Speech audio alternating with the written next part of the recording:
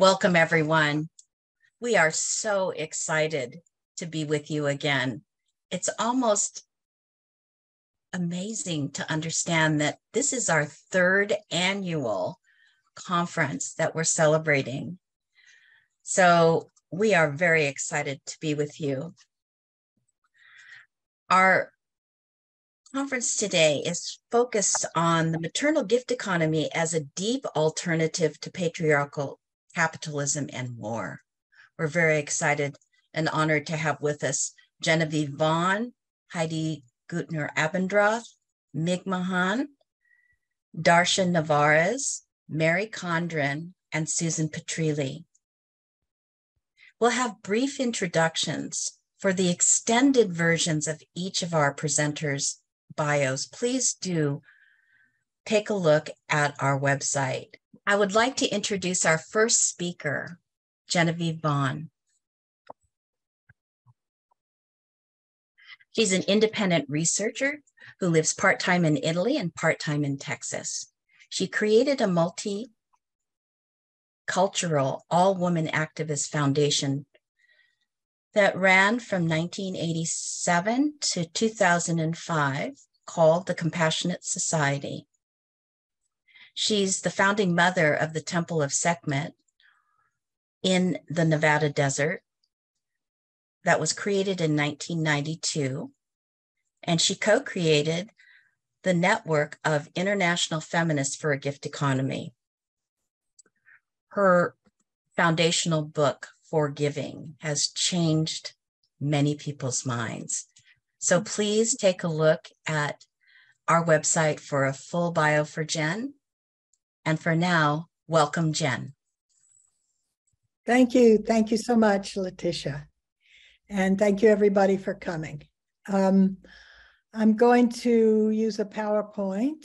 The maternal gift economy as the alternative to patriarchal capitalism. This is the name of my my talk, and I do believe that it is. If I can actually explain it well enough to show it, I'm not sure, but I keep on trying. Um, will change? Okay. Um, I recently went to a conference in Berlin of the Kurdish women, and um, I'm dedicating this presentation to them.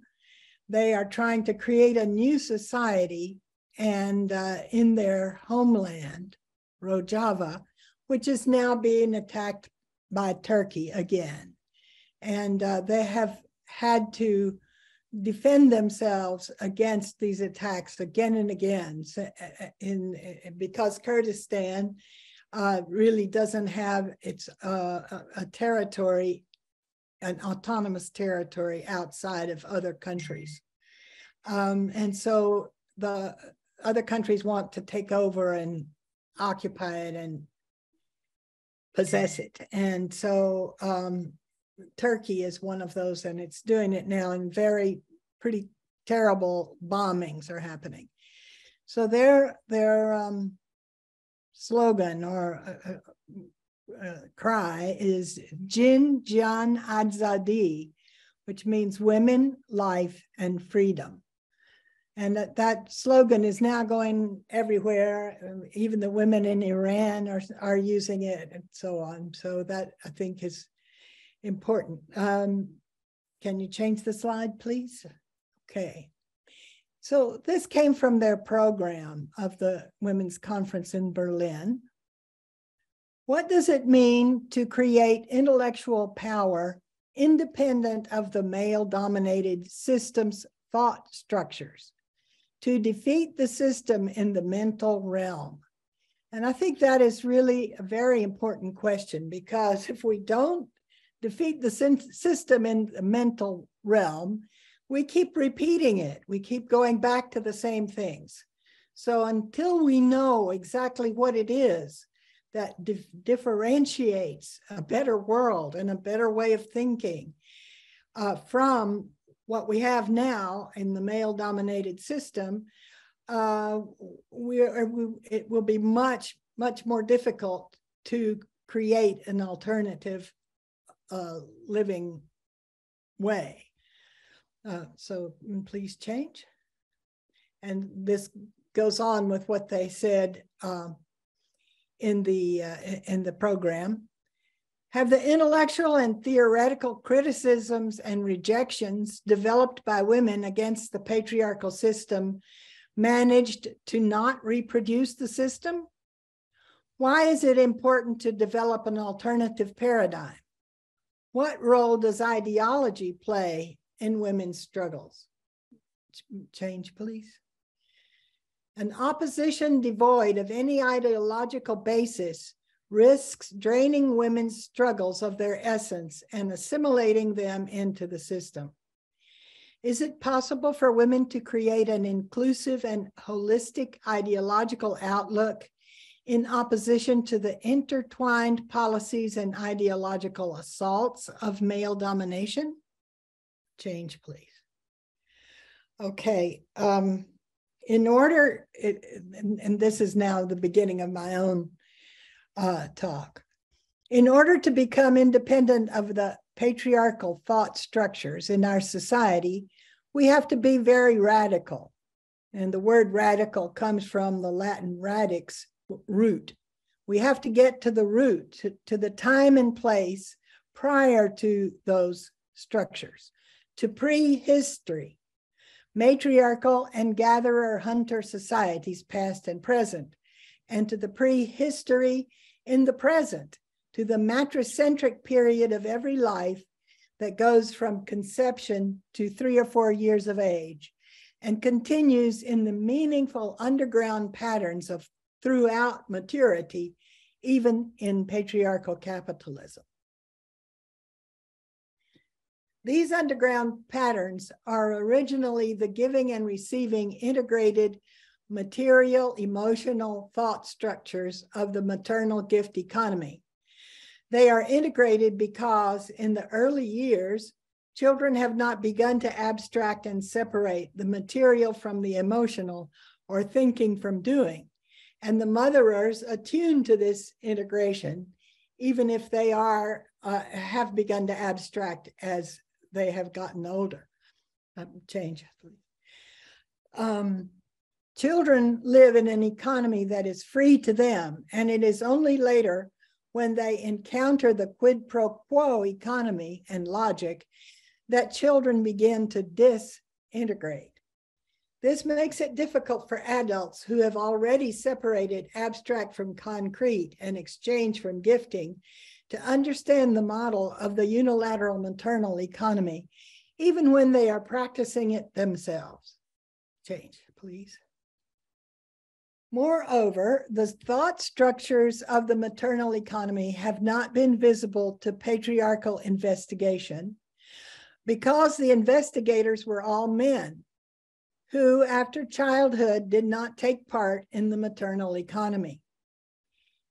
Even now, the many women in academia do not have time to do much direct mothering, and the context of ideas in which they work is formed of centuries of exclusion of the mother child experience, as well as the fragmentation of knowledge into the silos of different disciplines.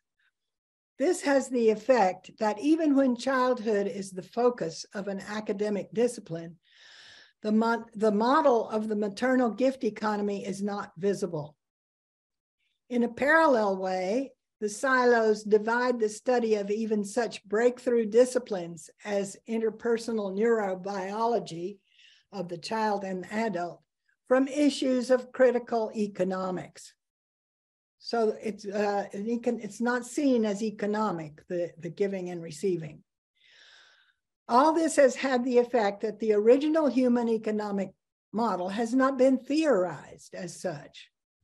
This invisibility of the maternal gift economy model has skewed the understanding of economics away from the purpose of satisfying human and environmental needs and has allowed instead the creation of a and promotion of a blindly self-serving mechanism that deprives the whole for the benefit of a minority and creates the pernicious stratospheric privileging of the few.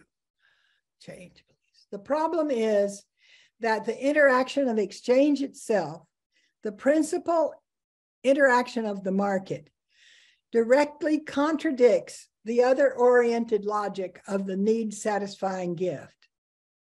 Quid pro quo, giving in order to receive, cancels and overshadows the direct other oriented need satisfying gift. Free giving and receiving is as economic as market exchange is. Free is a mode of production and distribution that is even more widespread than production for the market and distribution through exchange for money. This free economy is necessary as the form of mothering everywhere because young children cannot give back an equal return. Naming free maternal giving and receiving as an economy reduces the hegemony of the market economy over the semantic field of the word economy, allowing us to see that the gift coexists with exchange, and indeed that the market economy is nurtured by the gift economy. the maternal gift economy is not restricted to childcare or to women only. Women's free labor in the home is given to the workers she has nurtured, and including when the worker is herself, passes into the surplus value, the portion of the value of the labor time that is not paid for in the salary.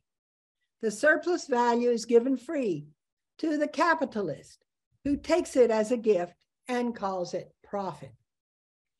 To this, we can add the free and low cost gifts of nature as well as those of culture and technological improvements that lower the cost of production and increase the profit mar- margin.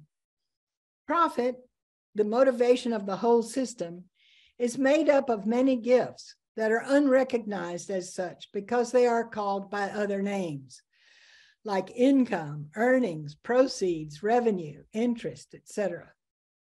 The maternal gift economy nurtures the exchange economy which takes from it without recognizing it. For example, in 2012, using time use criteria, feminist economists estimated the USA's 2011 gross household product at $11.6 trillion, as compared to a GDP of $13.3 trillion.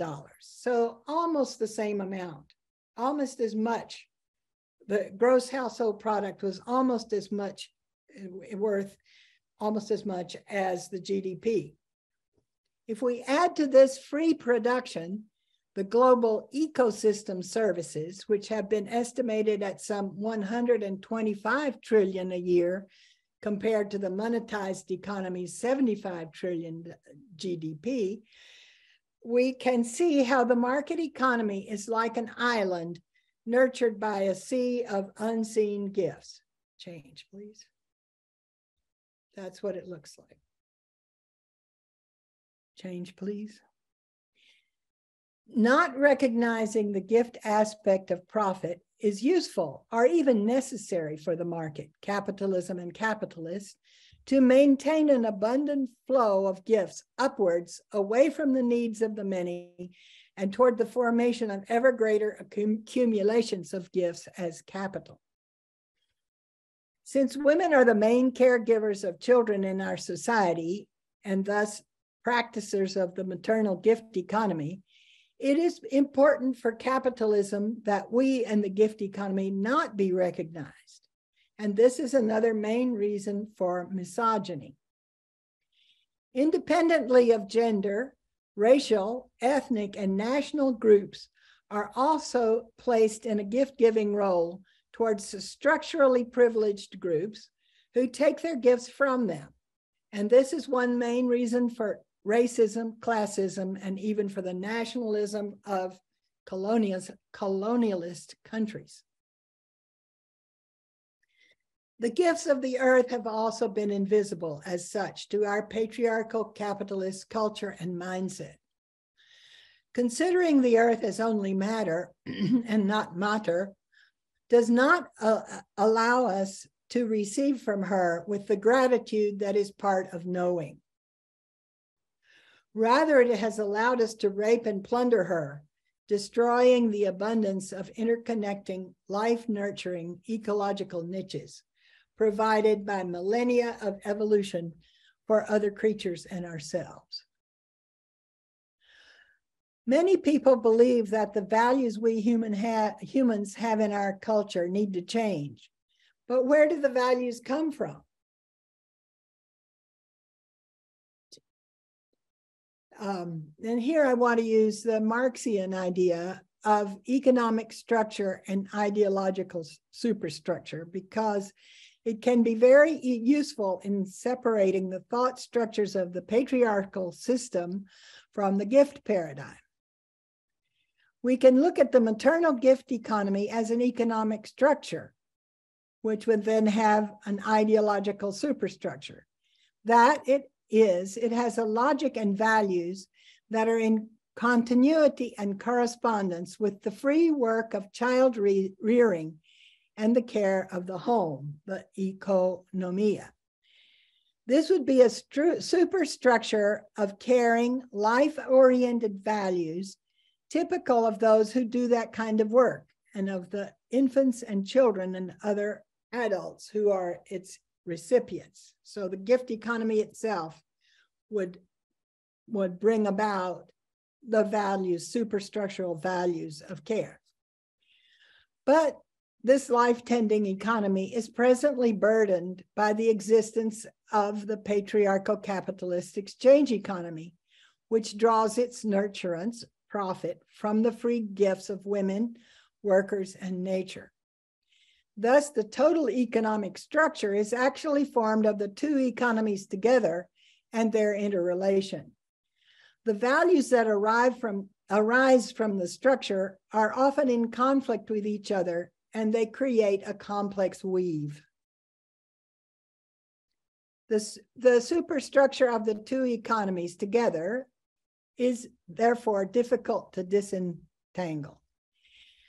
As I said, it behooves patriarchy not to recognize the existence of the gift economy and its values so that it can better receive and plunder the gifts and dominate the givers. The patriarchal capitalist economy has brought many life improving developments, but it is like a Trojan horse, the wooden horse that seemed to be a gift but contained enemy warriors who plundered the city of Troy.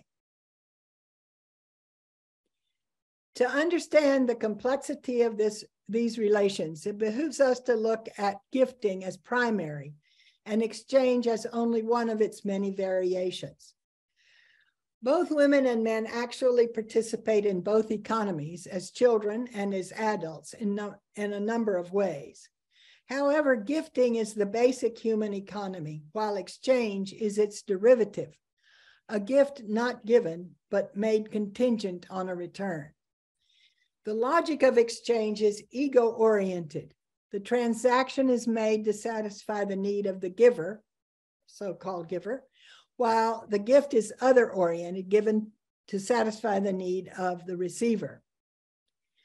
Many different consequences follow upon these two kinds of interactions, which coexist and interact on a daily basis.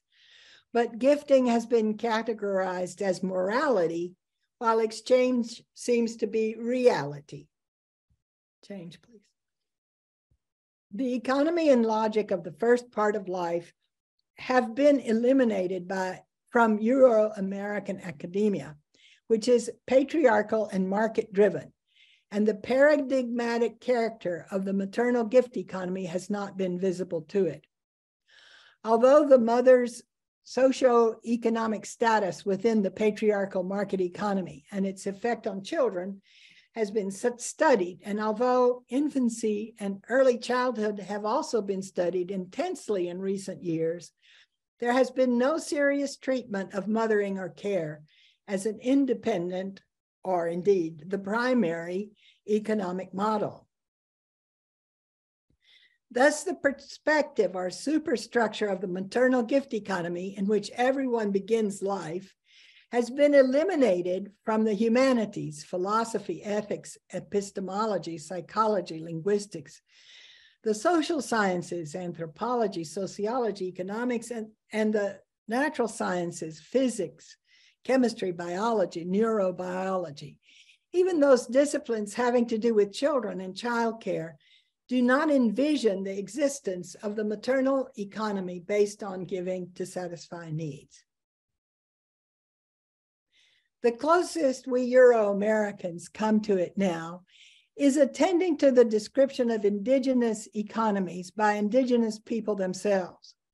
In fact, perhaps because they are not patriarchal and many of the men have not given up the maternal paradigm that is integrated into society, they do not see the gift as specifically maternal, gendered, female only.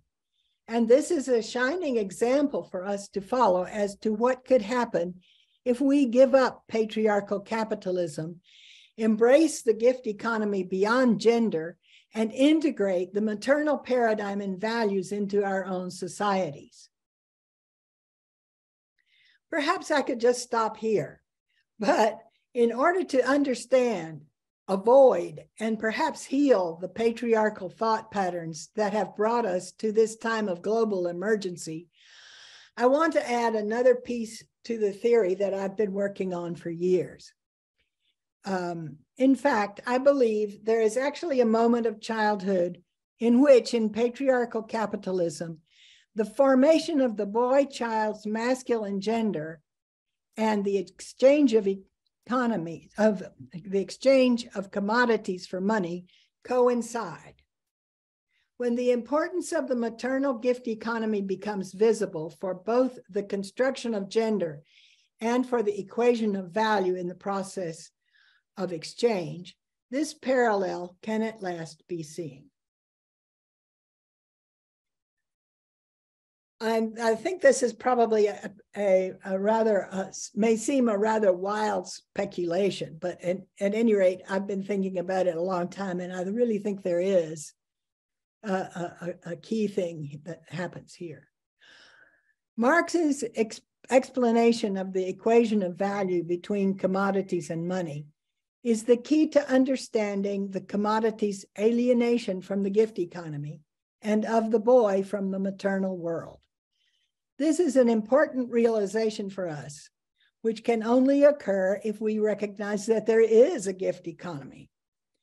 If we naturalize and hypostasize exchange, we cannot see the gifting of which it is a variation and in which it is embedded.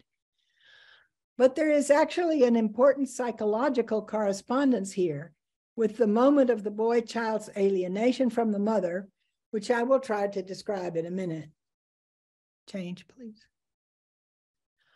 So there's the gift value and intrinsic value. I mentioned that in the process of unilateral giving, the giver implies the intrinsic value of the receiver, because otherwise, if the receiver had not been valuable for her, she would not have satisfied her need. What is given, the need satisfying good, is a transmitter of this gift value. In fact, it is usually made as appropriate to the child's specific needs as possible. The implication of the child's intrinsic value can be registered by the child as self esteem. This is a value relation that happens before the exchange relation in the life of the child. It is also prior to the re exchange relation in daily life, in the domestic sphere, in the home, as opposed to the market. Change. In the process of exchange, the intrinsic value of the child for the mother and the gift value of the goods that transmit that value are depersonalized and transformed into use value and exchange value. While the product that is used by the mother to nurture, to nurture the child is adapted by her for the child's specific needs, the product that is taken to the market only has an impersonal use value. That is, it can be used by anyone for that particular purpose. And it does not imply the value of the receiver because, in fact, the receiver here is an exchanger and the transaction is not based on gifting, but on exchange. So the product does not have gift value or imply intrinsic value, but it only has exchange value.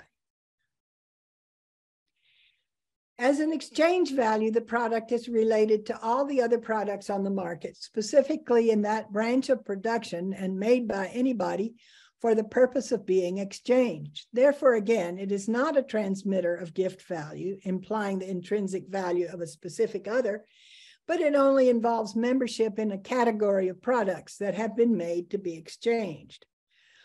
Money is the standard and the instrument for measuring all of the products in this category reciprocally as to the quantity of their exchange value. It does this by taking their place over and over in exchanges. The spread of the market, urbanization, specialization of production, industrialization, etc., have made it very difficult to supply needs without participating in market exchange. This has made it difficult to recognize the primacy of gifting over exchange and has further discredited mothering as unwaged housework instead of recognizing it as what it actually is the practice of an alternative economy. This alternative maternal economy is difficult in practice because it is trapped within a generalized exchange economy that extracts gifts as profit. When the boy child realizes that he is not in the same category with his gift giving mother and that his social role is not to be like her, he is in a position similar to that of the product that is sold as a commodity on the market. He leaves the maternal gift economy mentally and joins the ranks of other boy products that find their value through their common relation to the male, usually paternal standard, and thus also their relation to each other as similar and to their mothers and sisters as different. There are some individual variations here that I am leaving out in order to describe the big picture. There are boys who have nurturing fathers and girls who have capitalist mothers. I believe these are variations that have not yet been strong enough to alter the patterns. Sorry. It's just sorry. Uh,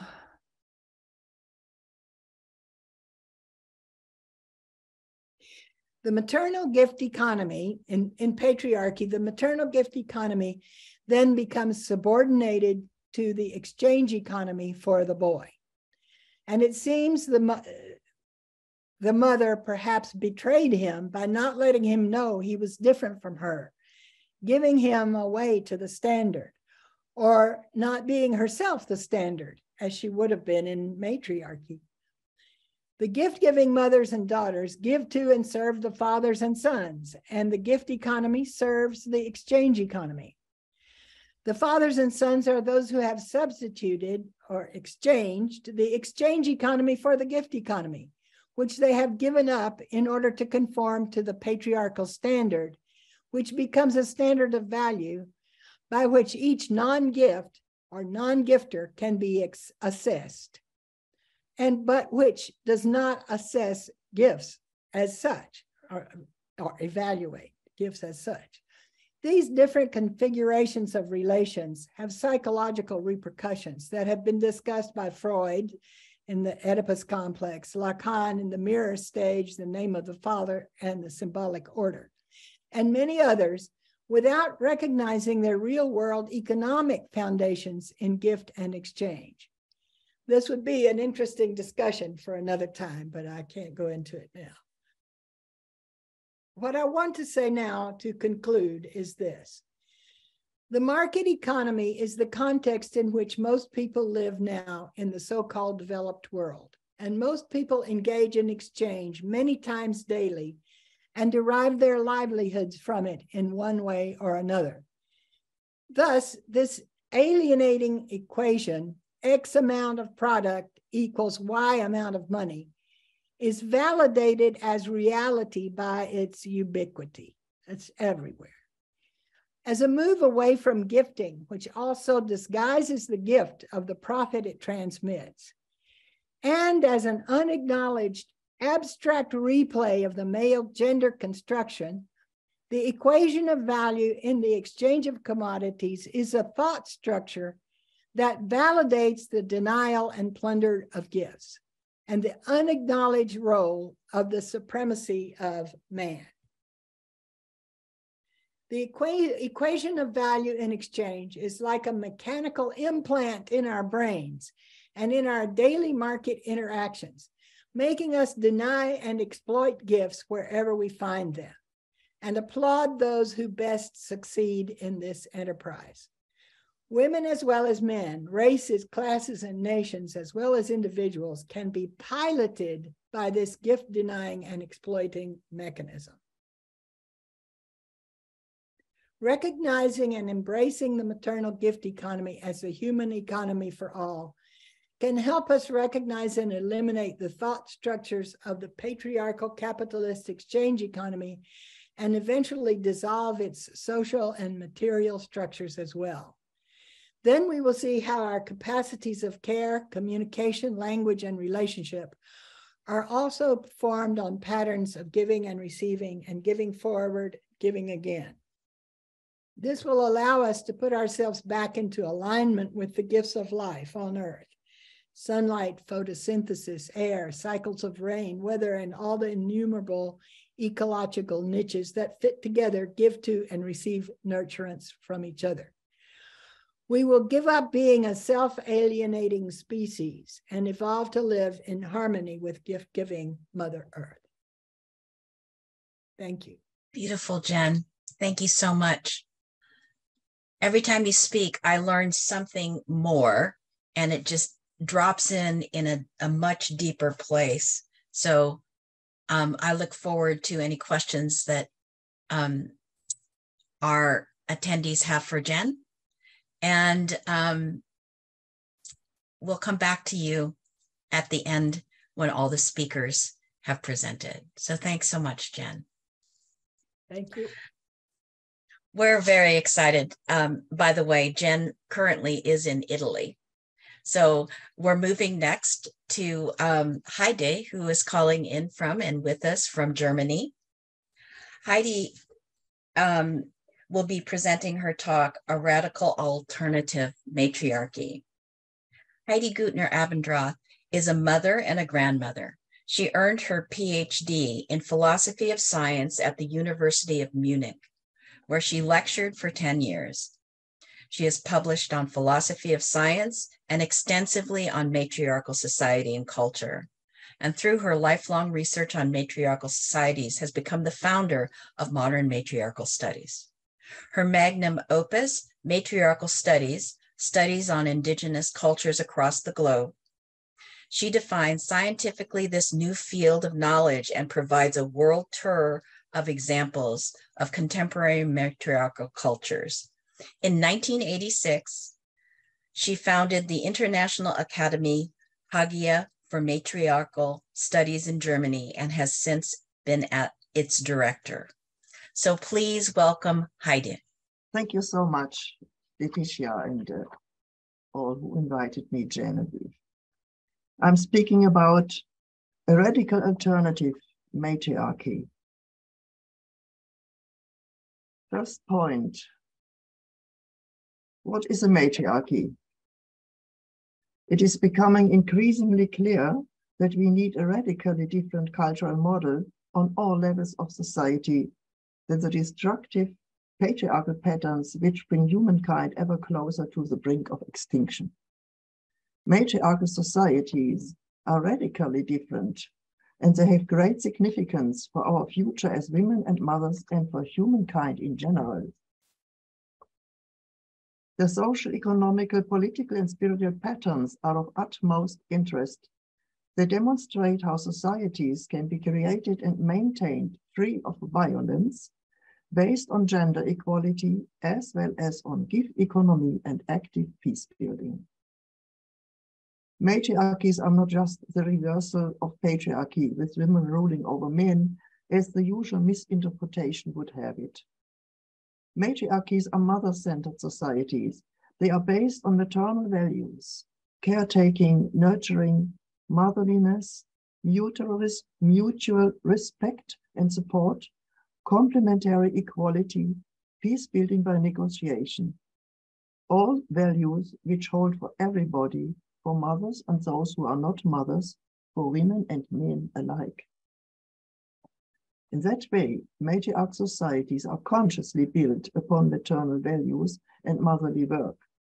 And this is why they are much more realistic than patriarchies. They are on principle need-oriented and not power-oriented. The precepts aim to meet everyone's needs with the greatest benefit. So, motherhood, which originates as a biological fact, is transformed in matriarchies into a cultural model. Let us have a closer look at the patterns of matriarch societies. As I have often described them, them on all four levels, I summarize them here in the most extreme brevity. On the social level, matriarchies are built on kinship in the mother's line, whose main features are clan organization based on matrilineality and matrilocality. Last, the last means residence with or near the mother. This puts mothers at the center, and they guide and they guide their clans without ruling. At the same time, the genders and generations are valued equally, despite their natural differences, which are regarded as complementary. So I call matriarchies on the level, on this social level, non-hierarchical horizontal societies of matrilineal kinship. On the economic level, matriarchies are societies of perfect economic balance, in which women are the in which women are the custodians of the goods for life, such as land, houses, and food. They have no right of ownership, but of distribution, and they pay constant attention to balancing the economy through equal distribution. Such an economy has the qualities of a gift economy. On the, economy, on the economic level, I call matriarchy societies of economic reciprocity based on the circulation of gifts. On the political level, matriarchies are based, matriarchies are led by consensus, with a political basis in the clan house where the decisions making, where, where, where decision making takes place. And with a system of male delegates to the diverse councils outside, where no decisions are made, but the decisions of the people in the clan houses are communicated. This gives men no power to decide over others, but gives, gives them their own sphere of activity and social status. Therefore, on the political level, I call matriarchies egalitarian societies of consensus. On the cultural level, matriarchal people practice a deep supporting and all-permeating spirituality. They regard divinity as immanent, for the whole world is regarded as divine, as feminine divine. Therefore, on the spiritual level, I call matriarchies sacred societies and cultures of the divine feminine or goddess. By this short characteristic, we can see how much matriarchies differ from patriarch societies, which are based on weapons, war, violence, and each and in each form on power over, over other humans and over nature. Now, when we imagine a modern now, when we imagine a modern matriarchal society, it will be a radically different model of what of all what we know. Of course, we cannot imitate traditional matriarchal societies, but we can gain much stimulation and insights from them, which, unlike theoretical utopias, have been lived over millennia. Now I come to the second point matriarchy as a radical alternative. On the social level, the model of matriarchy means escaping the increasing fragmentation of society which drags humans being, human beings down into a state of separation and loneliness and renders them sick and destructive. Rather, it means developing patterns that foster various types of affinity or intentional communities, such as communes, alliances of neighboring groups, and networks. Affinity communities arise from a spiritual intellectual common ground, through which a symbolic clan develops, resulting in a group that is more deeply connected than a mere community of interest. The matriarchal principle here is that such affinity communities of a modern matriarch society are initiated, supported, and led by women. The determining criteria are the needs of women and children, who are the future of humanity, rather than the power and virility aspirations of men. In such new major clans, men will be fully integrated but according to a different value system that is one that is that is one based on reciprocal care and love rather than on power. On the economic level, further increase of large-scale industry, of expanding military, and so-called standard of living would not be possible considering the danger of complete destruction of the biosphere on the life of Earth. Here, the perspective of alternative, local, and regional subsistence economy arises. For the subsistence perspective means economic in independence of the people of each individual region.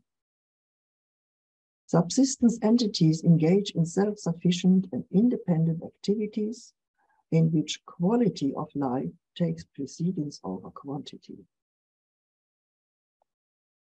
This does not only mean doing local gardening and agriculture, but also fostering regional communication, trade, technology, and arts. Even producing high technology is possible on the regional level if the monopolizing by the transnational corporations will be finished regionalization of agriculture, trade, etc., for the benefit of women and their communities is a matriarchal principle because they are the basis of human life on earth. On the level of political decision making, the matriarchal consensus principle is necessary for a truly egalitarian, modern matriarchal society. It can be practiced here and now, immediately and everywhere. It is the inspiring stim stimulus for creating any matriarchal community. It establishes a balance between women and men and also between generations, as the elderly as well as the youth are able to have their say. In addition, it is really the basis of democracy, as it manifests what former democracies promised but fail to deliver. According to this principle, the small units of the new matriclans are the actual decision makers. To implement the consensus principle in future means to develop a system of councils, smaller and broader, which are all interconnected to make decisions on the communal, local, and regional levels. The consensus principle cannot be practiced beyond the region, but in the matriarchal vision, independent, flourishing regions remain the political goal. On the spiritual cultural level, it is mandatory that all hierarchical religions with belief in transcendent divinities and claims of absolute truth which have deeply debased the earth, humanity, and especially women, must be rejected. Rather, we are creating a new sacralization of the world, consonant with the matriarch perspective that the entire world and all what it includes is divine. This, this leads to freely and creatively honoring and celebrating life and the visible world. In this way, matriarchal spirituality can be pervade every life, can pervade everyday life and become a normal part of it. Now I come to the third point of my speech. How can this vision of a modern matriarchy be implemented? The basis demand to make this possible is that the economy is given back into the hands of women, or it should be at least an equally shared economy. Why is that necessary? Let me talk in short about the women's situation today. I quote a brief summary from the United Nations report on the situation of women worldwide. Women make up half of the world population, work nearly two thirds of all hours worked, receive one tenth of worldwide income, and own less than one hundredth of worldwide property. What a scandal that is. Yet no one seems to get worked up about it. But if women believe a lot has changed in the meantime, they are mistaken. In 2010, the president of the United Nations Economic and Social Council cited the following figures. Women work 66% of all hours worked worldwide and produce 50% of the food. But they get 10% of the world income, own 10, 1% of the property, and represent 60% of the world's poorest. This was the situation in 2010, in 2020, and so on. The United Nations report on the situation of women worldwide is published annually, but nothing changes. We therefore demand an equally shared economy. That means a fair distribution of the world income and wealth as expressed by the national wealth of each individual state. To put it short and clearly, the fundamental demand is 50% of all national wealth belongs to women, their communities and projects. Equally shared economy in all its aspects. At present, working women pay the same taxes as men. Millions of mothers work free of charge, as well as other caring people. And working women everywhere earn much less than men. But 90% of the monetary flow wealth pours into men's projects. Transnational corporations, monumental prestige architecture, huge sports stadiums and events, and above all, military and wars. This must definitely come to an end. Let us, in short, imagine what, what would be the results if this situation is changed if women would own half of the economy, which belongs to them, but is continuously stolen from them, they would no longer be beggars for their own projects.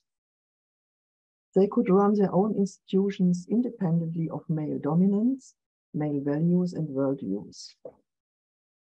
That means, socially, Women establish new matriarchal communities related by blood or affinity with their affinity sisters and brothers. The houses are multi-generational. Multi-generational. Motherhood is collective. There is no more isolation of mothers in nuclear families, no social isolation of persons of any age group. It means economically Women own land and set up local subsistence economies and cooperatives for themselves and their communities, gardens, farms, their own stores, their own distributions, sharing and gifting of goods. Every extended family or symbolic matriarchal clan set up by women receives its own house. women's villages are established. They would include men who also embrace the maternal values. Politically, women are the organizers and keepers of the consensus principle in their communities or symbolic clans, and also organize it on the local and regional levels. Practical bottom-up politics prevails. No more abstract top-down party politics.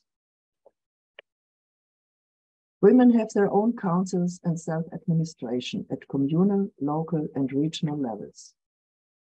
Men have theirs as well, and communication between women's councils and men's councils takes place on an egalitarian basis. Women and men refrain from male dominated institutions, leave them, and don't support them any longer. Culturally, women start their own education systems, schools, colleges, academies, and universities in accordance with their own knowledge and values, sharing it with everybody. Women have their own medical facilities and their own healthcare. Women have their own publishing houses, bookstores, and distribution networks. They have their own technical facilities. They have their own art galleries, theaters, and museums. Women create their own spiritual sites where they celebrate the earth and life together with their communities. Women and all people of their communities stop further destruction of the environment the soil, the water bodies, the earth, and its plants and animals. Because it is women who want to protect the lives of their children and of the future generations. In that way, new communities, cooperatives, and institutions created by women would quickly arise and flourish, which are truly mother centered and egalitarian that means nothing else than a modern matriarchal society would arise. Thank you so much for listening. Thank you, Heide. That was so beautiful. I loved your last line. You know, matriarchal societies arise. May it be so. May it be so. May it be so. And for all of you present and listening, now and in the future. Um, I had the pleasure of being part of Heide's very first English uh, symposium. It was an intensive on modern matriarchal studies where we had 17 women, I think, from all over the world who attended in person, of course, in Germany at her academy. And we created a matriclan there, women who we could rely on and continue to converse.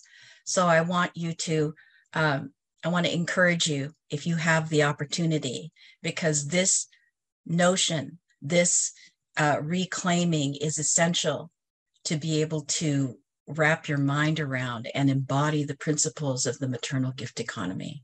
So the two are just perfectly uh, dovetailed together. So thank you so much, Heide. It was very clear your call to action. I, I'm with you with that because we can't do the maternal gift economy without modern matriarchal studies. And so thank you again. And we'll hopefully have some questions for you at the end. But now I want to introduce to you our third speaker, which is Migmahan. Migmahan is in Canada. She's actually from the Wabanaki Nation, one of the tribes there. And um,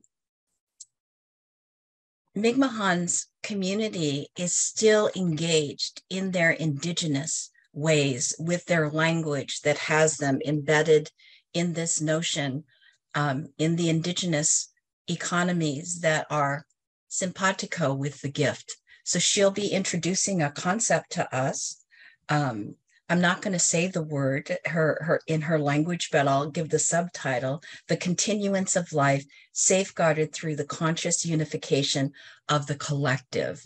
Now, in their language, it's one word. So you can understand why it's difficult to communicate uh, sometimes across culture and across language because they have one word and that was what? I don't know several words to convey the same concept. So Mi'kmaq is a wabanaki grandmother from the Jagik uh, clan and community member from the burnt church. She's a mother to three wonderful adults and grandmother to five beautiful grandchildren her life has been devoted to the Wabanaki cultural revival and promoting an understanding of matriarchal culture systems. Currently, Mi'kmaq is an elder in residence at St. Thomas University in Fredericton, New Brunswick. In this role, she provides the support for First Nations students and offers opportunities for them to learn from elders and traditional knowledge carriers, an important link between the university and First Nations communities. Mi'kmaq is a co-chair on a national committee on the Healing Through Land initiatives, a collective effort to reorienting grant making to align with Indigenous ways of knowing and being, finding ways to amplify and accelerate the programs and organizations that enable this healing work. She's also a member of Women of the First Light, an Indigenous women led initiatives to support women in their local communities with the, uh, um, issues as food sovereignty and healing through land work.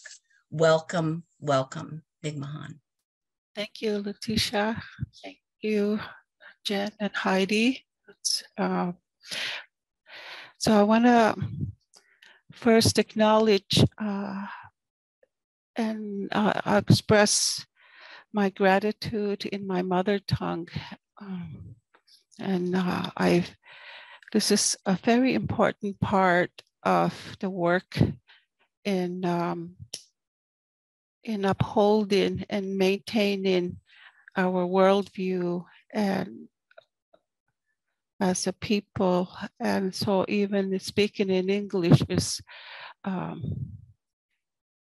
to, to maintain the uh, integrity of our worldview and in the language, in a patriarchal language, a matriarchal language is very difficult.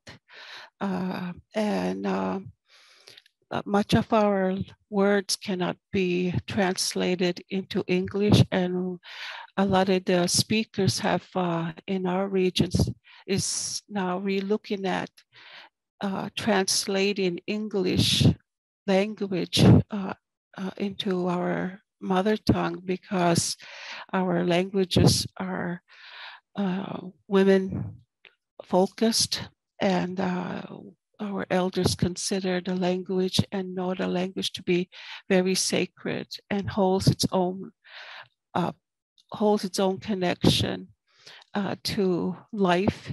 And so there's been uh, some decisions about about that uh, and not using the indigenous language in translating English because of that understanding of what that means. So uh, honoring all the ancient languages of the world, all the ancient mother, mother tongues. I wanted to uh, extend my um, gratitude uh, in my in my language before I uh, continue uh, what I will be sharing. Akchikisuk, akchichahamijina, chiniskamijina, mi wedem dan deligen muyek mi majohan, mi wedem dan deligen adiek ebideu diek, dan delusit hamuadiek, dan deli dan deligen adiek akiskuk mawidam dan deasuhtiek ebideu tiek sit hamu, abajiuna hadne mi majohan, abajimawadu ne abajik saltuhtine, abajik lamsada suhtine, a habaji angkat temene dangedudel mauluguduhtik uchit munahalduk gelok mimajuahan ahang kijino ankweyuk aku gugumijina tande situ sit hamu kisi kis buku weda kis kinamuk sik siawaduan negamau keluswahan mua ei mudiek ahan mi mutasnan Tande Sydney Wogama Stohon Wiesisk Sisip Daadam Sut Wen Night uh, Wigid ang Kijina Utlamiluk Mau Hadamudi Mau Yabahan Marutine Abijili Delamane Wagulali Eknauchitna. Thank you. I wanted to um, bring a uh, something that is really important that uh, for I know for all of us, and I've hear I've heard this now from uh, Jen and Heide, and I've heard that from Letecia and the women that uh, I've been had the honor and pleasure of sitting in the circle with and hearing uh, the the work that is going on uh, worldwide and uh, at the international circles. And in we're we've been uh, the Wabanaki people, which is the people of first light in our homeland, is uh, been uh, first exposed to patriarchy uh, on this side of the continent. Uh, but the language is still very much alive for us. And it's the language that has returned in the, the spirit of our ancestral grandmothers. And when you, we look at the, the language, as I had explained in previous uh, times that I've sat with Jen, that our languages were outlawed. And as you know, those ancient connections, those ancient languages that have been with us in the beginning of time are still profound and that they are still alive and they are very powerful guideposts to uh, who we are as women and how we move forward in uh, with our own uh, motherness, our own grandmotherness of uh, reclaiming or restoring life, uh, humanity, and all life on uh, this great life.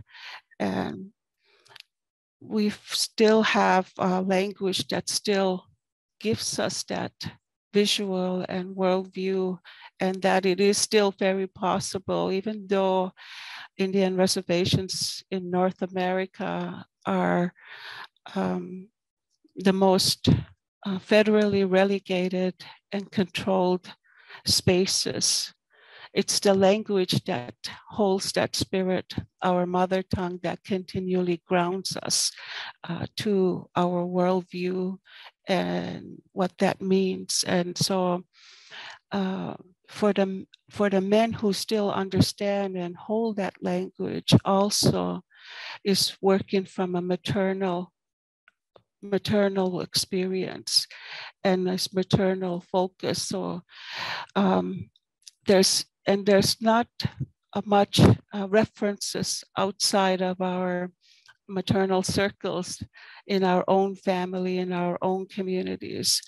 And it's very encouraging uh, and hopeful to know that the Western systems uh, out there, and uh, for sure the academic institutions, uh, are are working and have come forth with this information and uh, are um, aware the value and importance of uh, maternal cultures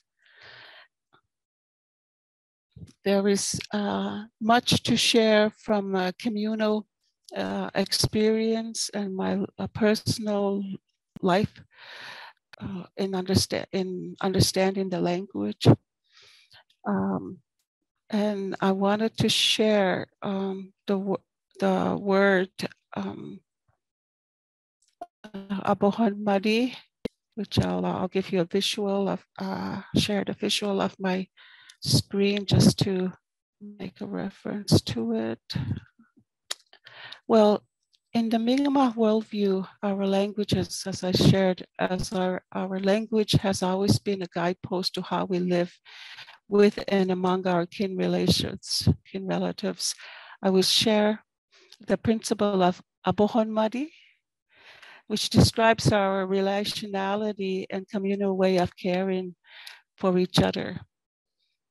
This has been taught to us by our original teachers, which is the plants, truly the plants, animals, trees. It's, it's the foundation to our way of life and acknowledges life has gifts worthy of being restored and maintained for a collective well-being. Abohon Madi is a pathway to reclaiming matricultural way of being and upholds individual dignity by collectively wrapping ourselves in a circle of protection as mirrored in our animal relatives. Abohon Madi, our original way of being, is an antidote to patriarchy, capitalism, and war. The examples uh, given that I'd like to share is the, the forest fire uh, uh, and reindeer circling the vulnerable ones. And in this, this imagery, this imagery that I share, it's they the reindeers are circling because of the forest fire, but they're uh, still in the the uh, this uh, farm uh, fenced in, but they sense and they are aware of that, and uh, and just as uh, the buffalo.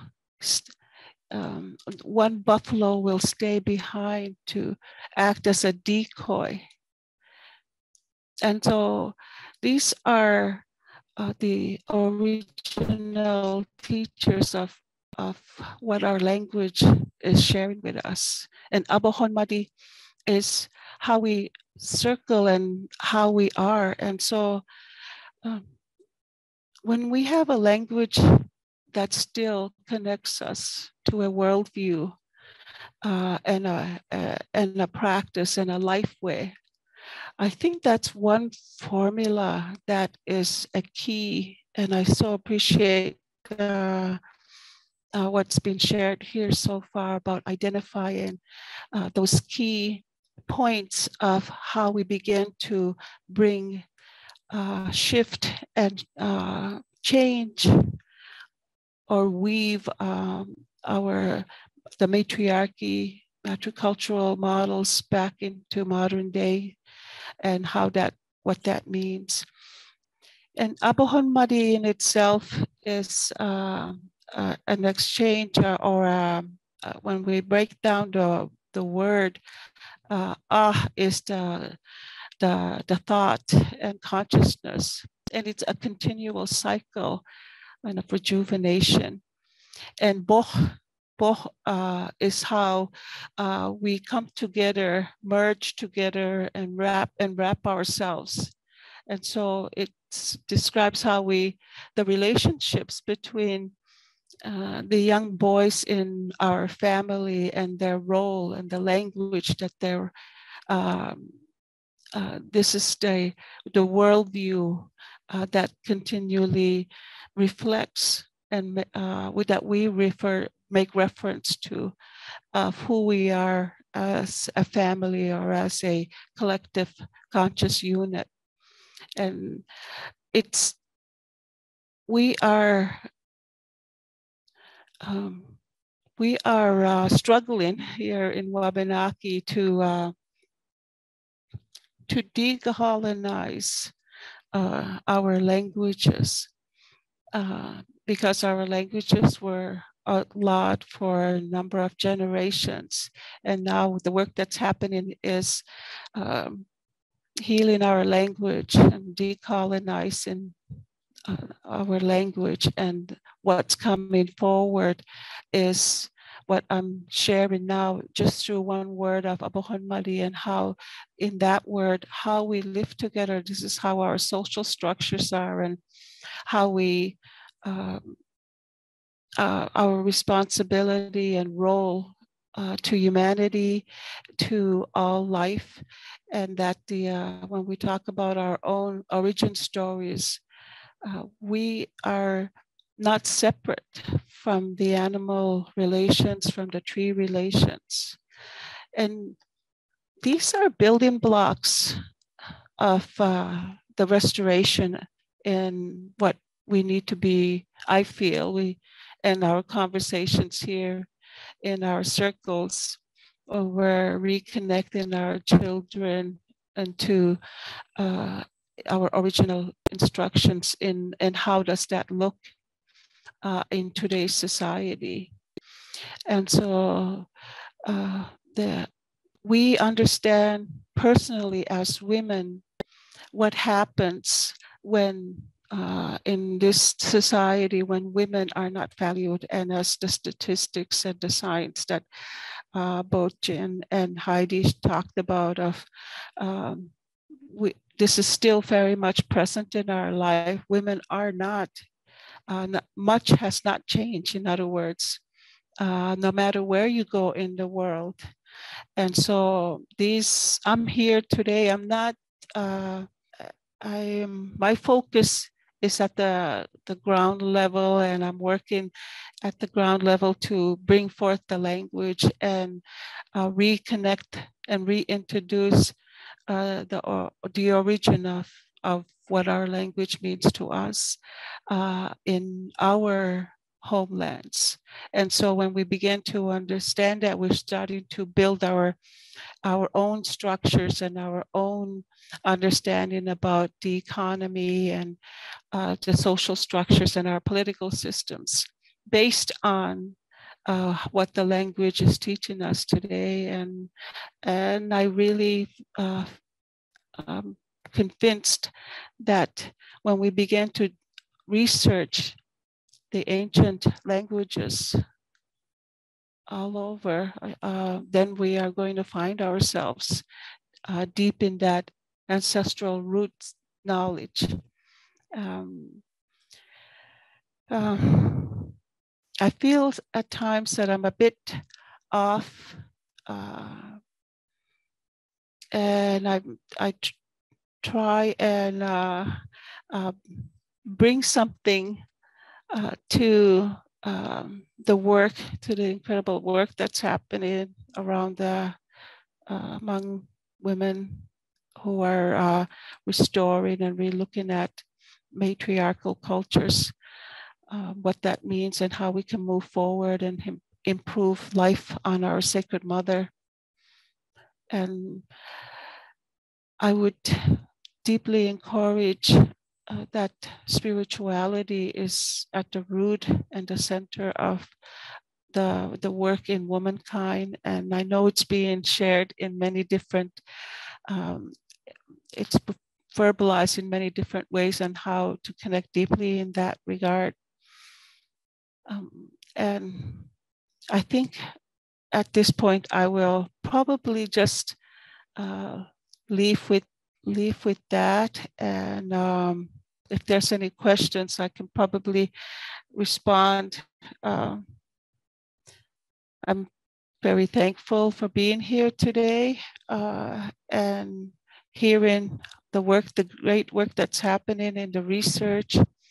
Um, I, I am deeply honored to be here. Um, and I feel that um, the those ancient languages are going are the key to uh, restoring our worldview and uh, reconnecting all of us because it's the language of the same source, our sacred mother, and the plant world is there. And uh, gen- uh, whether it's uh, men or women, uh, we all have the same deep connection and relations when we speak with the, the original teachers and understanding our relationship to the cosmos and to the natural world. Uh, it's as, as a mother and grandmother, they are the ones who taught us, and they were the ones we were communicating with. And we were imprinting and looking to them as our references. And so the word Abohon Madi is uh, was created of how we looked at the four-legged relatives, even the animal uh, plant world. If there's a forest fire uh, or a clear cutting, there's it's a certain plants uh, and trees that first arrive to heal and mend uh, that space. And then the return so that they create an opening for the return of the rest of the family the rest of the plants and the trees. So that is almost a non-threatening uh, experience for uh, as well uh, with the young boys and all our families that are coming forward. I think humanity can certainly now, the younger generations will certainly now embrace that. If we can shift our own thinking and truly establish a reconnection uh, of our relationship to the non-human world. And so uh, this is this is what I've been asked to bring forward in this circle. Uh, so welalia uh, magidela mo no akelo mimajuahan geidu ena hasik apchach multosip. Thank you so much, Migmahan. Before you, uh, before I move on, would you say one more time the word in your language that reflects your the center of your culture? It's, it's can you unmute and say it again? Mm-hmm. Oh, it's uh, Abohon Madi, and it's uh, it's one uh, w- uh, one word uh, that uh, it's woven into uh, another evidence of how we uh, how we take care of each other, how we look look out for each other, uh, and it's extended. And it's a teaching from our four-legged clans. Uh, so those kind of connections are very important and actually so fundamental in uh, our language and our relationship. Um, Thank you. Thank you so much.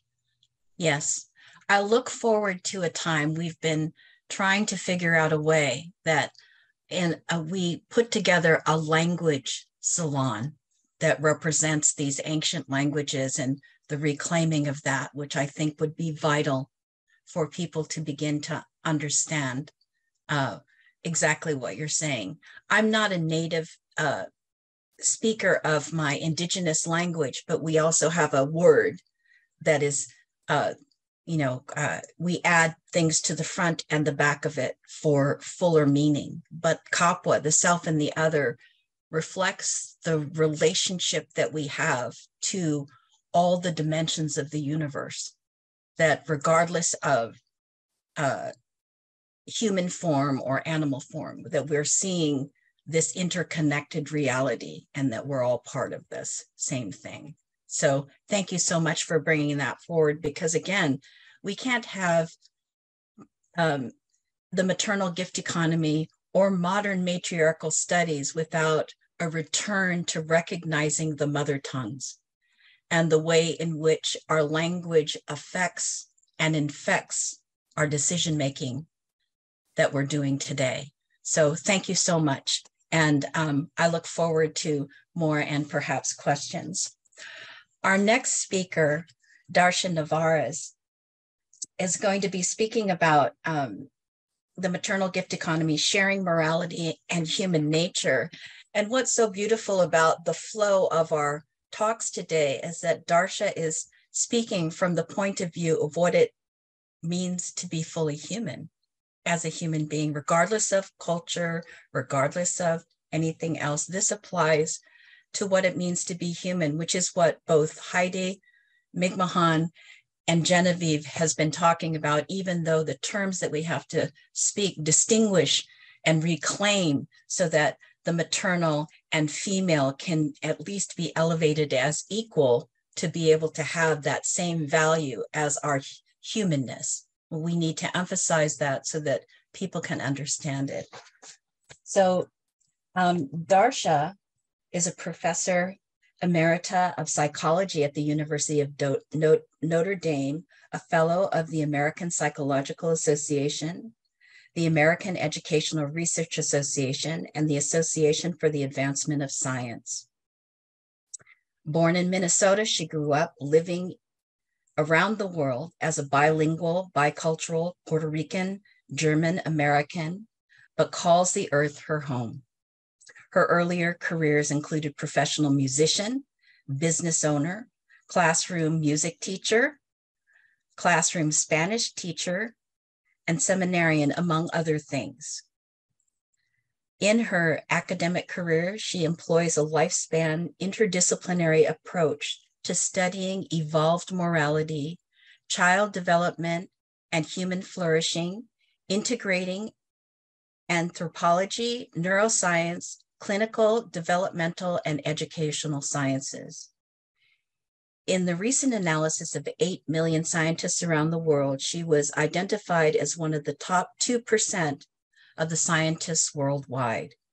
She has numerous publications, and I'm inviting you to please take a look at our website for her uh, Darcia's uh, full bio and a way that you can connect. She has a six minute movie at her website, breaking the cycle film.org, which brings together the theory in a visual short film that you can take a look at. So, without further ado, welcome, Darcia. We're so glad that you've joined us again today.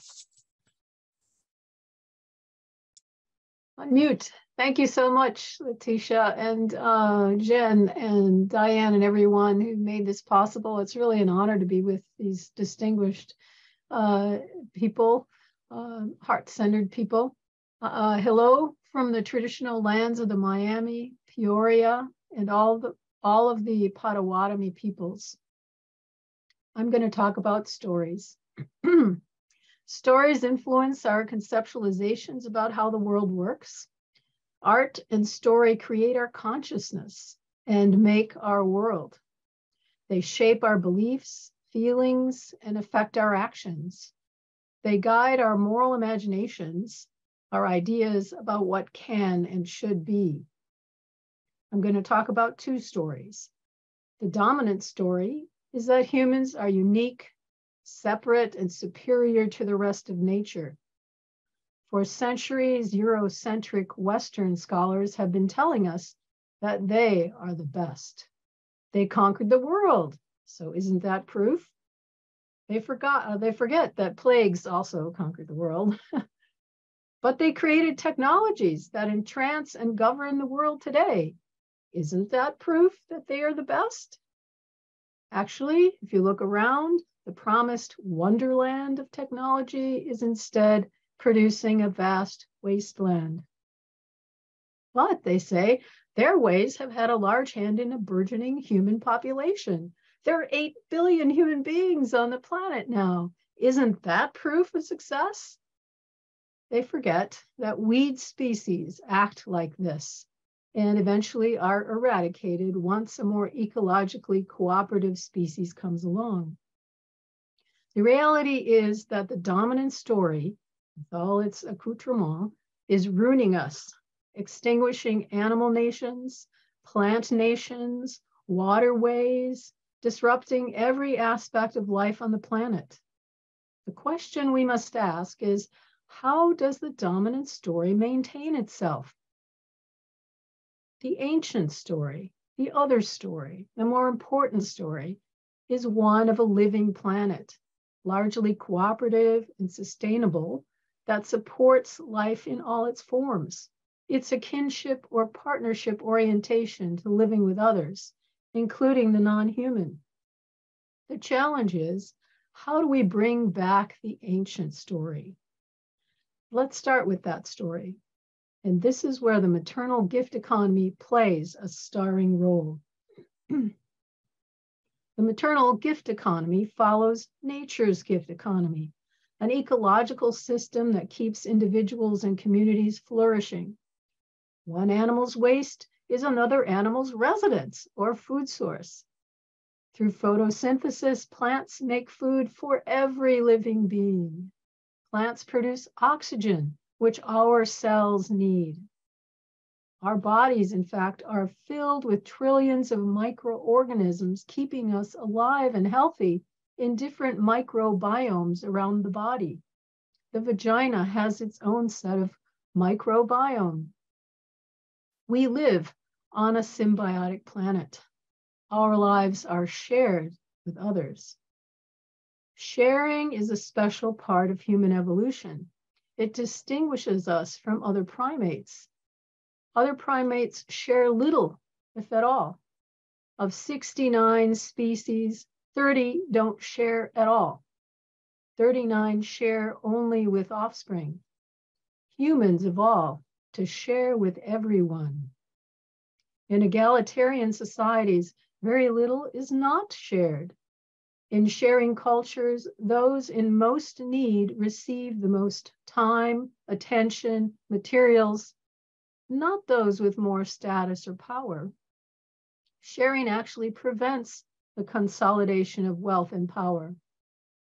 Sharing infuses life in egalitarian communities and includes sharing access to knowledge, skills, positions, Thomas Widlok, a German anthropologist who has studied sharing societies, suggests that sharing is a skill learned throughout life.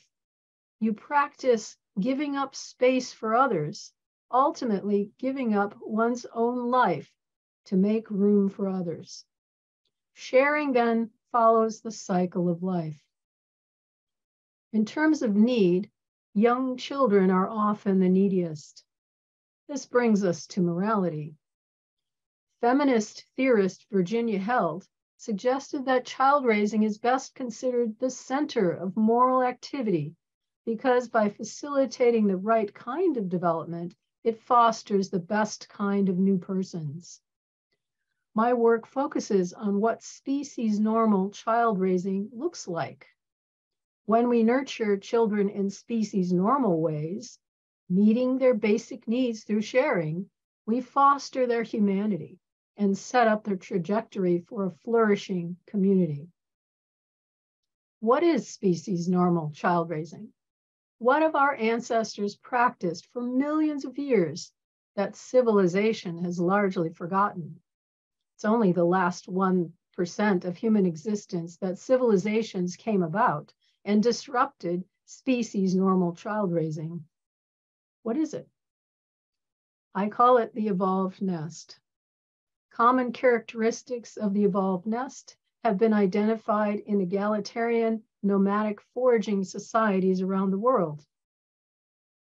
And we've identified and we study nine components. I'll mention a few here. Soothing perinatal experiences. That means mothers have extensive support during pregnancy and before that, of course, uh, and during birth, uh, birth is soothing and there's no separation or painful procedures after birth, no separation of mom and baby. Breastfeeding on request with the baby in charge for several years. And that's shared breastfeeding, not just mom doing it. Affectionate touch most of the time in babyhood and no negative touch. Unfortunately, half of parents in the United States say they spank or hit their 12 month old children. Not good for de brain development. I can say so much about this, but I'm just going through the list. Uh, multiple alloparents. That means lots of people helping care for that baby and those children, the village of care. Social embeddedness and social support. Now, all these nest components, apart from birth and breastfeeding, are important for all of us throughout life. So to have multiple alloparents or mentors, to be socially embedded and feel social support, like we belong, like we have something to contribute, very important.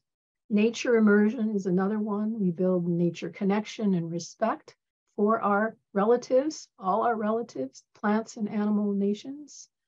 And then self-directed play, free play that children do throughout childhood.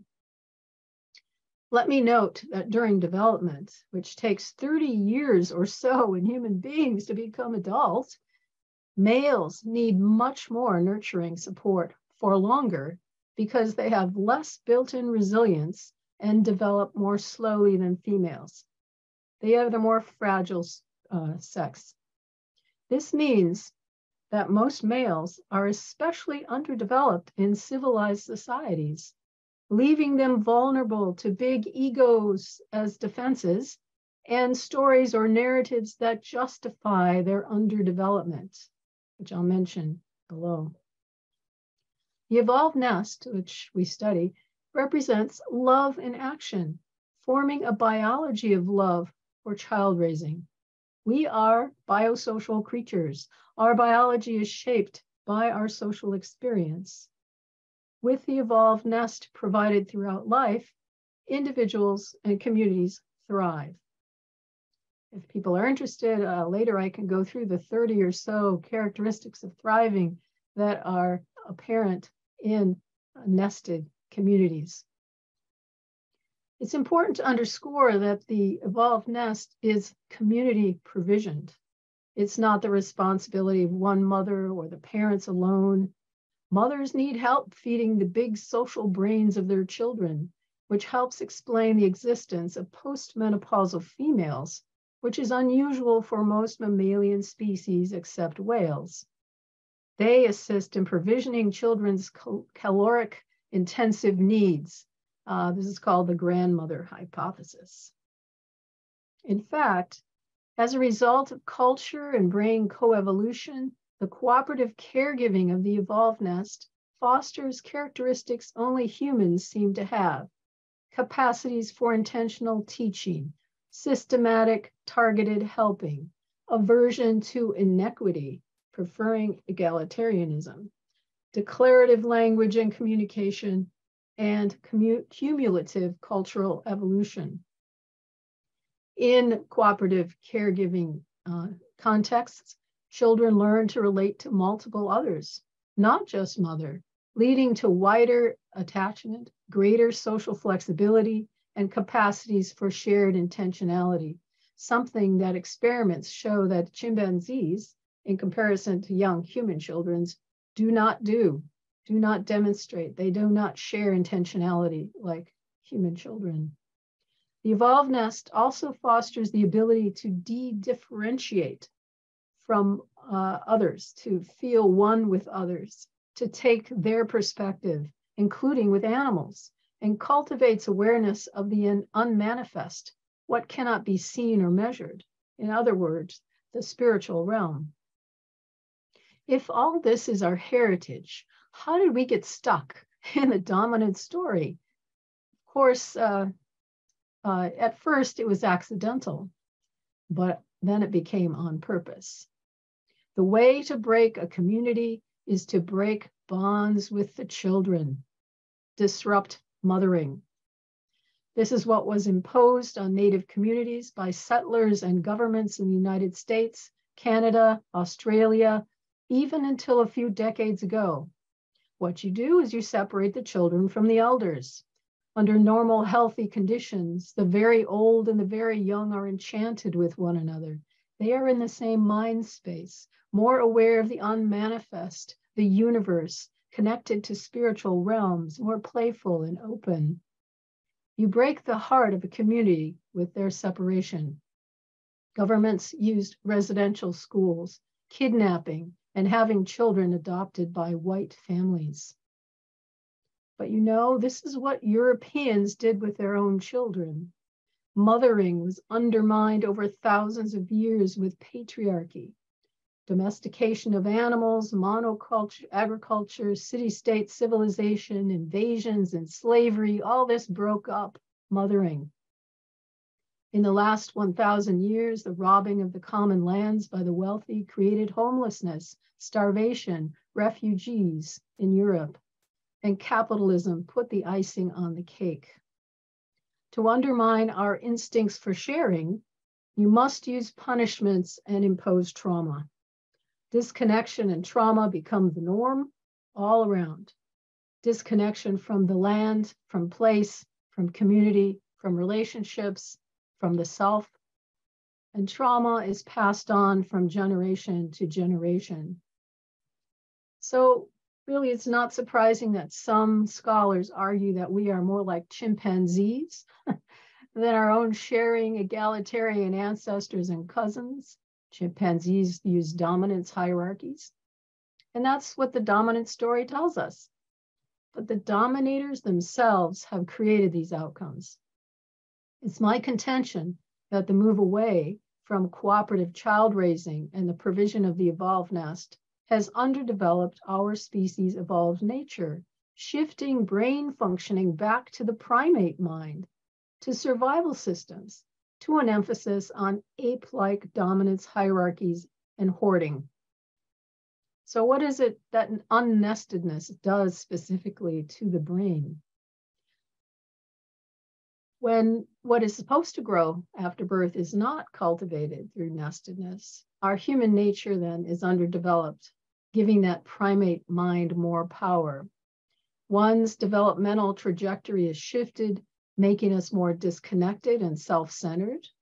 Necessarily so, because we get stressed easily, and stress makes you stupid and selfish. That's the way the body works, the blood flow shifts. And then individual seems like a good idea because you feel so isolated and disconnected and alone. The person's disposition becomes oriented to dominant submission hierarchies. They can develop a sense of inferiority or superiority the latter, a very dangerous mindset. The brain becomes threat reactive, easily triggered. Blood flow shifts for fight or flight, impairing thinking, making open mindedness or open heartedness unlikely. The right brain, which is scheduled to develop more rapidly in early years, is underdeveloped, impairing empathy, self control, and higher consciousness. The Wetiko virus, cannibalistic greed can take root more easily.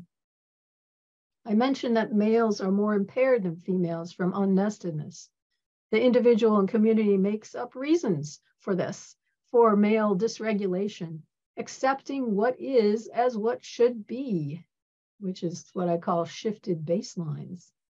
For example, narratives, stories justify the underdevelopment of males such as the Oedipus complex. Male aggressiveness, anger, and dominance are considered normal for men. Moral orientations become rooted in primitive survival systems. This means that morality and values are about scripted power relations, because there's no flexibility, in part from a lack of know how. You didn't develop all those things that normally would develop, rather than about egalitarian relational attunement and mutual enhancement. Good stories tell us, teach us how to maintain contact with others with our hearts. The heart and sense of connection to all are suppressed, though, and ridiculed by the dominant culture's focus on left brain functioning because the right brain's underdeveloped and controlling masses with triggered fear. So we are saturated by the dominant culture's anti love story a story of competition over cooperation, scarcity over abundance, aggression over love, a story of destruction. How does the dominant story maintain itself? By undermining the raising of children and creating unnestedness for all. Unnested people are easily made afraid and controlled by authoritarianism, and they are attracted to stories of superiority and then uh, actions that promote that view. How do we return to the ancient story and the cycle of cooperative companionship? We reinstitute our heritage, the maternal gift economy of sharing and meeting basic needs. This entails putting children first, since they are the most needy, When child and adult well-being are the focus of communities and societies, providing the evolved nest to everyone, we can grow and maintain our humanity in a species normal manner. We join the wellness informed pathway that evolution, in effect, created. We then live lives of compassionate connection as partners with one another and with the earth. Thank you. Thank you so, so much, Darcia. Um, it's so clear that it just struck me uh, the dominant anti love story. You know, that is so clear. And I just want to just highlight again because it seems dire that if you didn't get what you needed when you were growing up, but Darcia always reminds us, and I want to encourage you to go back and take a look at her other talks on our salons, that there are ways that if you didn't get what you needed in your childhood, Darcia, um, aren't there things on your website that people can uh, help them bring themselves forward and encourage themselves to actually evolve? Yeah, no, a lot of adults have to spend a lot of time healing themselves from their childhoods, right? so better to do it right the first time, right? Thank you so much. Our next speaker is Mary Condren. We're always pleased to have her. She's so busy. She comes to us from Ireland. She's going to be talking to us about the motherland, the alienation, sacrifice, and war. Um, Mary Condren is the director of Women's Spirit Ireland and a research fellow at the Center for Gender and Women's Studies in the School of Histories and Humanities at Trinity, Trinity College, Dublin. Her critical work concerns the role of violence and the discourses of sacrifice in contemporary politics. Her constructive work focuses on recuperating the Indigenous female traditions of old Europe and Ireland. So, for more information, um, we'll put her website in the chat also, and we'll also put Heide's in the chat. But welcome, welcome again, Mary. Thank you for taking the time in your writing and your teaching to join us today. Very much my pleasure, and thank you to all of you who have contributed so far. Um, it is a real honor to be invited um, to be part of this um, salon. Um, I'd like to pick up on, I'm first of all going to share my screen to make sure that it's actually going to work. Yes, there it is.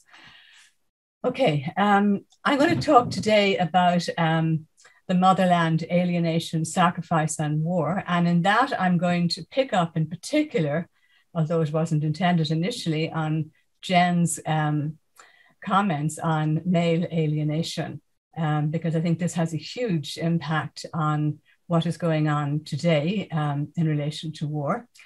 Um, and I want to say that um, I'm going to be fairly critical about the, the roles that men play in war. And at the same time, I'm very much aware of what's happening in our world and um, between Russia and Ukraine and those Ukrainian who are putting their lives on the line to save their country and to save their people.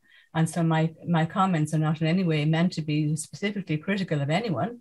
Um, I work on the culture of violence rather than um, specifics. Um, and so I'm hoping that what I have to say today might have, um, might make some contribution to that.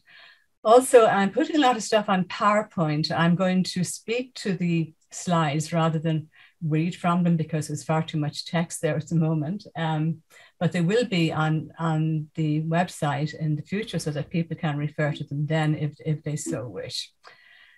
So thank you again. And um, I'll just start, um, I'll just start with my um, presentation. Um, wars take many forms and um, the Irish experience, I'm going to be drawing a lot, a lot on the Irish experience um, because we are a colonized people. Um, we were colonized by many different people over over many years. Um, and in the last several years, we have been trying to recuperate some of our indigenous um, traditions.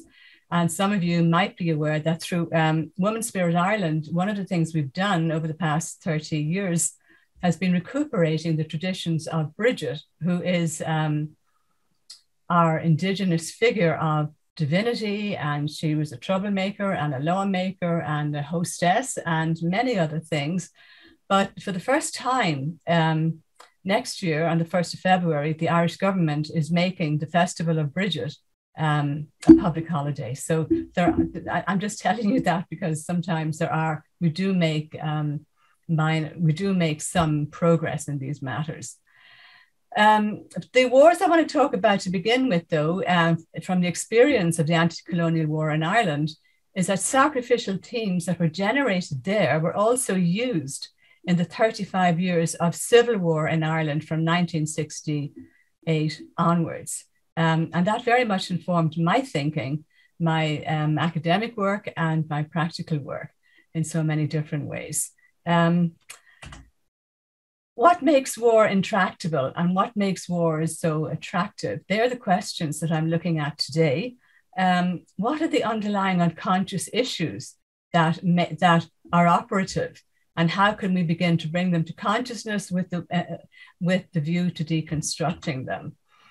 Now, Ireland also has an, an, Indigenous tradition, and that's the other part of the work that I do at, a, at a constructive level. Um, the ancient Indigenous deities were called the Tuatha and they were called, they, one of the translations of them is people of the gifts. Um, also, Bridget Bruiga, um, in one, the life of St. Bridget, 23 out of 30 incidents concern her generosity and she was a little you know she was pretty rough time at sometimes because if people didn't weren't generous um, she had ways of cursing them and um, taking back from whatever they um, had been given. The vanir also in northern europe were also known as people of the gifts. Um, the in, in the in the living traditions um, there's always an acknowledgement of the gifts. In other words people today sometimes call this sacrifice, but in the Irish tradition, it was it was um, incumbent on anybody who received the gifts of the earth to pour a little bit back into the ground as an acknowledgement to the earth spirits, who are also maybe called the um, the the Tuatha, the people of, of, of God or the people of divinity. And there's a funny story about um, a man who was accused of stealing milk because um, he had taken some drops of milk out of something that was meant to go to the creamery. And so the case went to court. Um, but he protested that the only reason he had taken it was that he had to he had to give the gifts back to um, the Tuatha And he was acquitted of, of robbery um, through that story. Um, now, Joseph Campbell talked about the, um, the great reversal and, and this is what I'm going to be talking about here today because um, the, the Great Reversal, we went from a, a, culture of the gift to a very different culture with de- very different values. Um, in the Greek tradition, for instance, Athena was born full blown from the head of Zeus. Um, Bridget is um, was, saying, was said to be the daughter of the Dagda, who was her father, but she had no mother. Um, women in in in the Furies, um, the the, the um, Athena was responsible for putting the Furies under the ground, and of course they were responsible for um, prosecuting any any crimes against against maternality and particularly matricides. But women were put under the ground, um, and, and in the in the Orestes, Athena put the Furies under the ground and men ruled above it. The same happened with the Tuatha and the sons of Mill. The sons of Mill were one of the people, uh, the, one of the layers of invasions to Ireland, um, and they represented the Hebrews and Christians. And when they arrived, um, our ancient stories tell us in classical manuscripts that they put the Tuatha under the ground and the sons of Mill reigned above it. However, um, what we need to remember is that for, for four days of the year, the Tuatha Dé were allowed to wander out, like Samhain and Bealtaine and Imbolc and Lunasa, um, because they were the unconscious of the social order. And if they weren't, uh, weren't uh, you know, allowed to come out occasionally, everything was going to be you know, very disrupted. Um, but in the Great Reversal, um, we tell those stories without understanding that this is actually um, a major epistemic shift in the sense that there's a splitting, a splitting here between um, the Tuatha and the sons of Mill, and, and particularly the, the values and, and the, the consequences of, of matrilineality and matricentered and matriarchy, and the sons of Mill, who eventually went on to represent the religions of empire.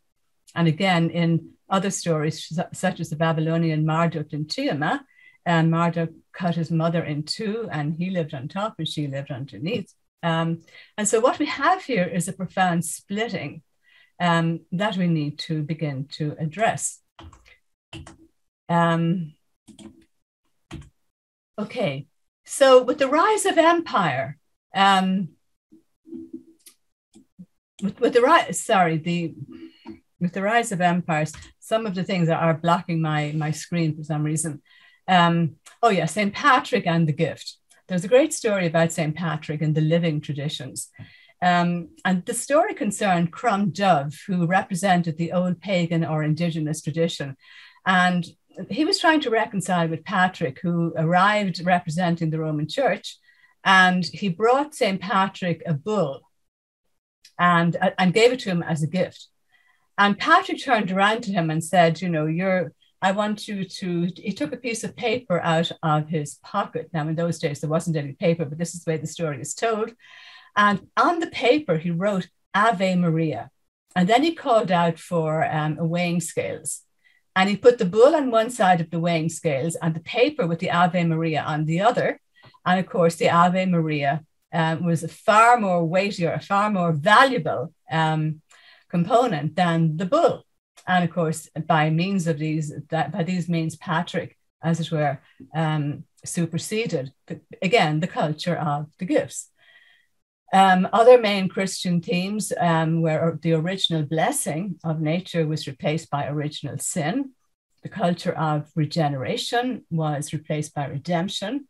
The Garden of Eden um, was replaced by the fall. And eventually, the whole ideology and theologies of sacrifice replaced the gift.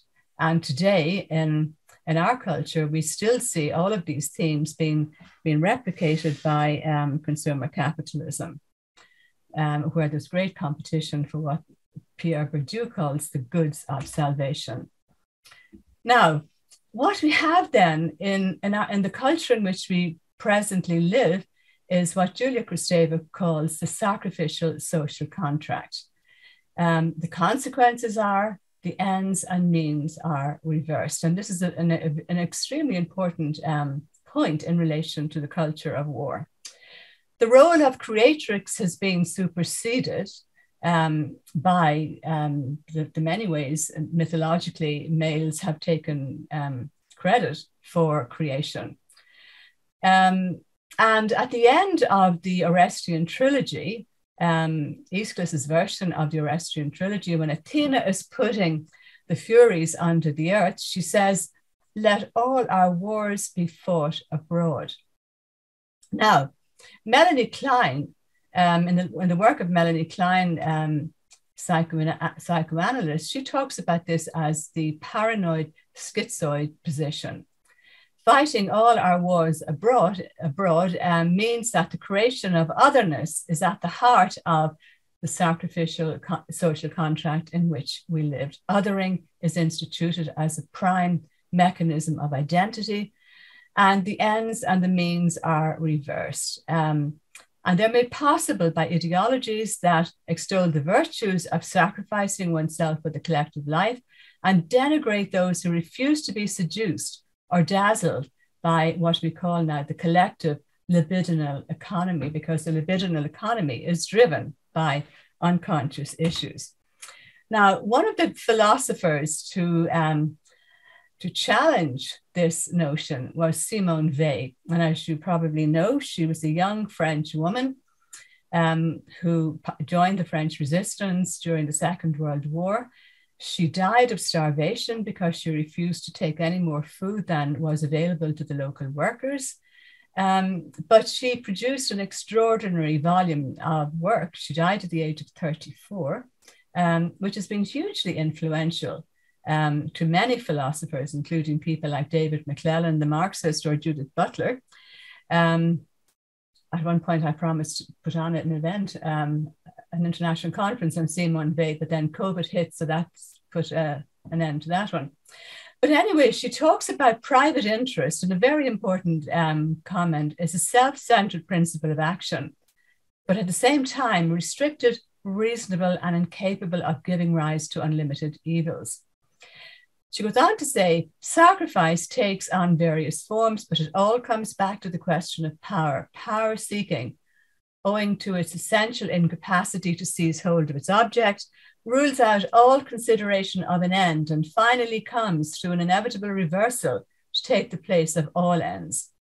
It is this reversal of the relationship between means and ends, it is this fundamental folly that accounts for all that is senseless and bloody right through history.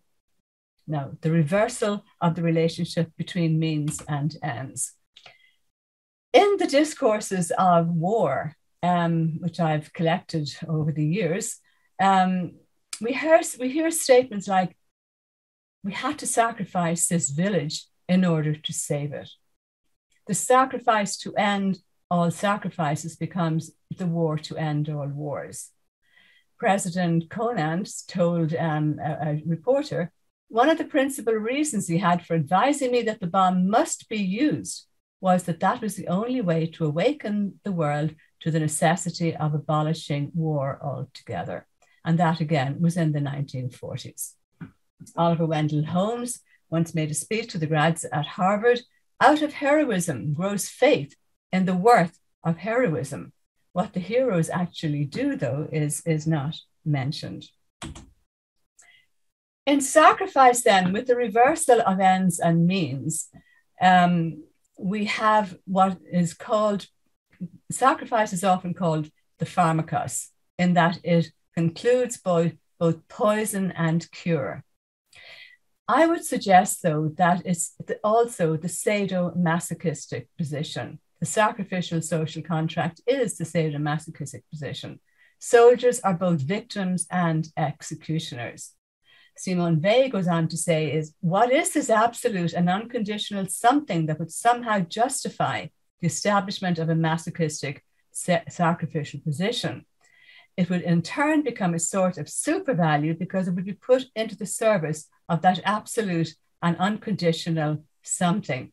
That, by the way, was sorry, was not Simone Weil, it was Franco Fornari in his book on the psychoanalysis of war. Um, he goes on to say then that a psychoanalytic quest answer to the question, or at least a certain type of psychoanalytic answer, leads us precisely and again back to food as the mother's original gift to the child. This is that absolute and unconditional something that men carry in the deepest part of himself as a love object transfixed and absolutized, as a sort of paradise enjoyed in the beginning but quickly lost. And so human life becomes a continuous attempt, more or less hopeful, or more or less desperate to regain this precious object. Um, so Fornari is talking about, about the lost gift. And he says, with one of these vicissitudes of regaining the original food and the unity with the mother and her lost gift seems to be connected the deepest origin of group formation. And by that he means the group formation in the services of war. So the consequences of all of this is that the motherland in the sadomasochistic contract or the sacrificial social contract, the motherland is a source of both love and hatred. Athena, I can never stop repeating that thing, let all our wars be fought abroad, because I think it's an extraordinary statement um, to come out of a classic of Greek literature. Motherland rhetoric makes these dynamics lethal. In psychic terms, the motherland represents the good mother of psychic fantasy writ large, while the bad mother is, of course, the enemy. And um, Robert Scott, Nancy Huston, sorry, at one point wrote of war the more one advances into evil, the more necessary to idealize what is good and to safeguard its purity. purer and purer, farther and farther away from the horror.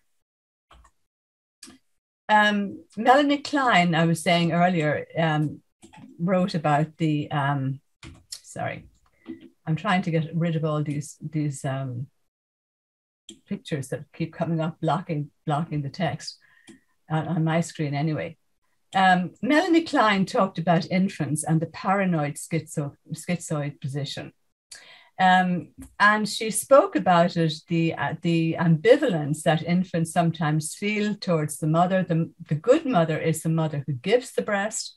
The bad mother is the, is the mother who takes it away or doesn't you know, deliver it on time. And then she talks about, you know, this can be reconciled by what Darcia calls the evolved nest. Um, when the infants begin to recognize that the same is the same woman who gives the breast and the same person who takes it away, and they answer what they call the depressive position.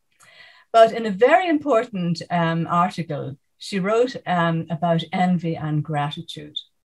The, the bad mother, as it were, um, we try to get back, you know, that the, the depressive position is, or so, sorry, the pre depressive position is characterized by envy and gratitude. Now, that has massive implications for our culture today because, in the culture of the gift, the culture of the gift um, promotes gratitude. But in our, the culture in which we live, we, we, are, we are living in a culture of envy. Every time I switch on my emails today, I'm hit by Black Friday. Come and get it, come and get it, come and get it. And envy is cultivated by unending consumerism. Um, and sacrifice, the discourse of sacrifice, is the perfect vehicle, sorry, for holding those two competing stances um, envy and gratitude. And, you know, in recent in recent years, there have been several books written about the importance of Melanie Klein's um, work for our understanding of war and sacrifice. So, um,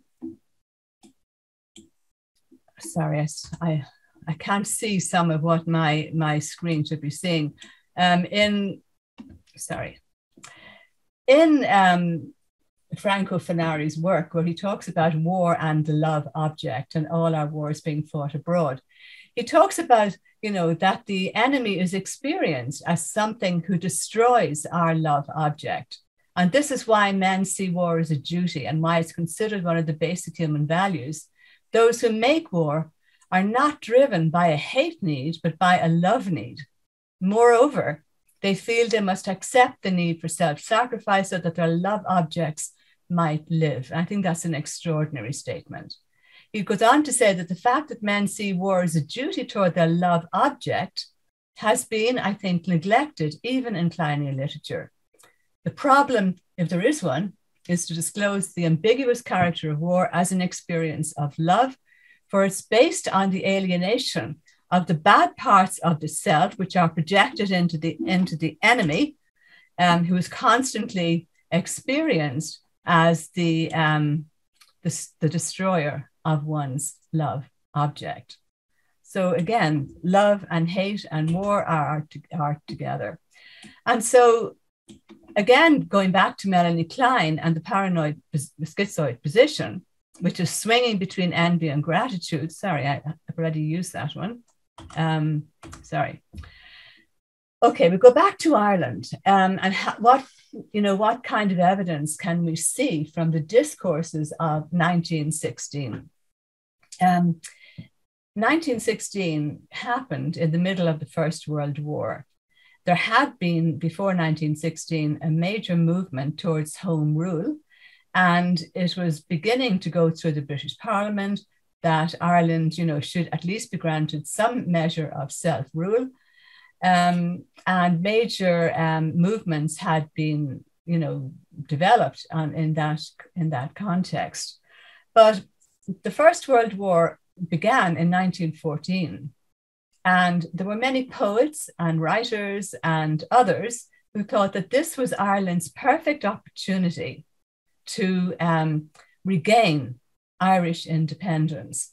Now, hundreds of thousands of young Irish men, including my two um, grandfathers, um, went to fight in the First World War um, on behalf of the uh, of in, in, the British Army. Um, they did that because they were living in abject poverty, and as somebody said, they went because they wanted to put food on the table for their families and um, boots on their own feet. Um, but throughout the, um, at this time, in, in any case, uh, at Easter Sunday, the poets and the and the writers and the others who decided to to go for it with a, an, a rising uh, significantly on Easter Sunday, uh, and they were very uh, aware of drawing on the religious um, connotations of that day, and they called it the Easter Rising. Um, throughout all of their discourse, there were myths of the undivided Mother Ireland. So their, their idea was to get back to the undivided Mother Ireland. Um, the poetry was about the lost mother. The avenging mother was Britain. Um, symbolic castration might have been um, might have been occurred or perpetrated by um, some of the language. There were great um, songs. There were four green fields, and one of them was in bondage. And the mother, out of respect for the mother, we have to get them back.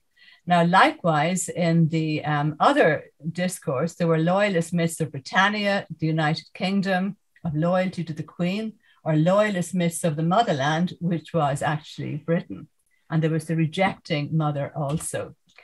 And so, motherhood reversal um, Nietzsche, in his famous work on Zarathustra, um, which I've always been very um, informed by, he wrote to practice loyalty and for the sake of loyalty, to risk honor and blood, even in dangerous and evil causes. And other people mastered itself with such teaching, and thus mastering it became pregnant and heavy with great hope. Again, note the maternal language.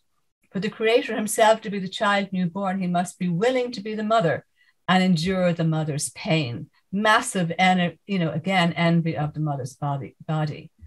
Um, and Diane Taylor, in a very brilliant article um, on the Argentinian War, she wrote, What made the patria acceptable, perhaps even necessary within this discourse, was that she was not credited with giving birth to her children. On the contrary, the glorious military men gave birth to her. Again, the great reversal that um, Joseph Campbell spoke of. Now, what does that mean in terms of Ireland? W.B. Yeats wrote um, a poem before, um, actually, I'm not sure about the date, but it reflected a time um, when the Irish nationalists were plotting to overthrow Britain. And the first line, the first few lines were Words are lightly spoken, said Pearse de Connolly. Maybe a breath of poetic words has withered our rose tree, or maybe but a wind that blows across the bitter sea. The poem ends with, Where can we draw water? said Pearse de Connolly, when all the wells are parched away. Oh, plain as plain can be. There's nothing but our own red blood can make a right rose tree. And that notion of um, blood, male blood shed in war, as being the ultimate fertilizing fluid runs is not, it's not specific to Ireland. It runs right through the discourse of the First World War. But when the rising happened, um, initially the Irish people were absolutely outraged um, against those who had perpetrated it because they were a fairly they were a minority. Most of the most of the Irish men had gone off to fight in the First World War. These were the poets and the teachers, and they were outraged. But what did the British do? They took them in and they executed them. And so all of a sudden, far from being, you know, um, ragamuffins or, uh, you know, un, um, irresponsible people, they became heroes through their sacrifice. And again, Yeats, after 1916, wrote another very famous poem. I, I'm only quoting a little bit of it here. Too long a sacrifice can make a stone of the heart, and when may it suffice? This is heaven's part, our part, to murmur name upon name, as a mother names her child when sleep at last has come on limbs that had run wild. But what is it but nightfall? No, no, no, not night, but death. Was it needless death after all? For England may keep faith, for all that is done and said, we know their dream, enough to know they dreamed and are dead. And what if excess of love bewildered them till they died? And that, that statement, the excess of love bewildered them till they died. This is the, the epitome of the kind of alienation that currently runs through patriarchal culture and that is feeding war efforts all around the world. And I think we have to understand the, um, that alienation and the perversion of love that that it represents. Now, so what I'm saying there is there is a perversion of the gift, peace and castration. Um, after the insurrection, one of the writers wrote, "I'll, you know, if we had accepted the liberation through through um, diplomatic means, Ireland would have accepted the gift with shamefacedness and would have felt that her centuries of revolt had ended in something very like ridicule. We might have crept into liberty like some kind of domesticated man, whereas now we may be allowed to march into freedom with the honors of war. In other words, he's, he's, he's almost saying that war is a male initiation rite. Um, we go on then to Patrick Pearse. Now, Patrick Pearse was the main poet and, and dramatist of 1916, but he was a very disturbed man in some ways because one of the poems he wrote was called The Wayfarer. And he was reflecting on nature, and he said the beauty of the world. And we we were, we all learned this poem in school, by the way. It was one of the first poems you learned as a child in, in an Irish school. The beauty of the world had made me sad, this beauty that will pass. Sometimes my heart is shaken with great joy to see a leaping squirrel on a tree, or a red ladybird upon a stalk, or little rabbits in a field at evening lit by a slanting sun, or some green hill where shadows drifted by, some quiet hill where mountainy man had sown and soon would reap near to the gate of heaven. Or children with bare feet on, on the sands or some ebb sea, or playing on the streets of little towns in Connacht, things young and and bonny, happy. And then my heart had told me, and this is the crucial line these will pass, will pass and change, will die and be no more.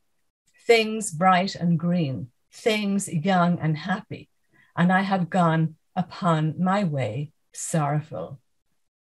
Um, in other writings of Patrick Pearse, um, it's very clear that he saw he put himself in the in the um, in the image of Christ, whose job it was to save Ireland. Um, but how, how did he go about saving it? By instituting the Easter Rising, in which so many men were killed and which followed followed on by civil war in Ireland. But the, the crucial, um, when I was preparing for this presentation, this poem that I hadn't read in years kept coming into me. And, and here it is. It's a poem written to his mother.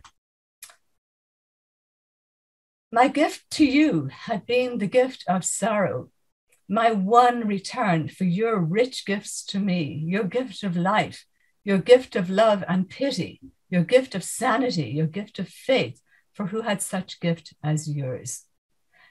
I have seen your dear face, your face soft to my touch, familiar to my hands and to my lips since I was little. I have seen how you battled with your tears for me, and with a proud, glad look, although your heart was breaking. Oh, mother, for you know me, you must have known when I was silent. I would have brought royal gifts, and I have brought you sorrow and tears, and yet it may be that I brought you something else besides the memory of my deed and of my name, a splendid thing which will not pass away. When men speak of me in praise or in dispraise, you will not heed but treasure your own memory of your first son. In other words, he's giving his mother the gift of his own executed life. So um, we're living in, in what I'm calling um, a culture of a sacrificial social contract, a sadomasochistic contract, where ends and means are completely reversed. Um, President Truman, when the first atomic war bomb was, was had been dropped, he wrote, "This is the greatest thing in history." Teilhard de Chardin, a Jesuit philosopher, said it disclosed to human existence the supreme purpose, the purpose of pursuing even further to the end of life the forces of life and exploding the atom. We took our first bite of the first of the fruit of the great discovery. And this was enough for a taste to enter our mouths that can never be washed away the taste for super creativeness. Now, that is not a statement of the envy of, of, of women and women's bodies, which again can be found right through all the initiation rites um, recorded by people like Mircea Eliade or Bruno Bettelheim and others. The taste for super creativeness. So what I'm saying, you know, finally, is that we are living in what the philosopher Luce Irigaray talks the culture of the death drive. And the death drive, um, where it's never enough, nature is never enough, life is not enough. What we have in Western culture is a culture of eschatology, um, a life that is only a means to a means to another greater, more important life. Um, and Lucy Luce Irigaray, you know, talks about the, the death drive. She says, you know, we're all born into dereliction, but men um, compens- men establish their death drives at women's expense. Um, so the culture of the death drive is the one in which we are living. The culture of the gift has been superseded, um, and we, we bear the consequences today. Thank you. Thank you so much, Mary, for making that um, explicit. And Jen always tells us that if we can't see what the problem is, we can't actually choose a new paradigm. So we really need to understand what's happening in order for us to make that commitment to move forward.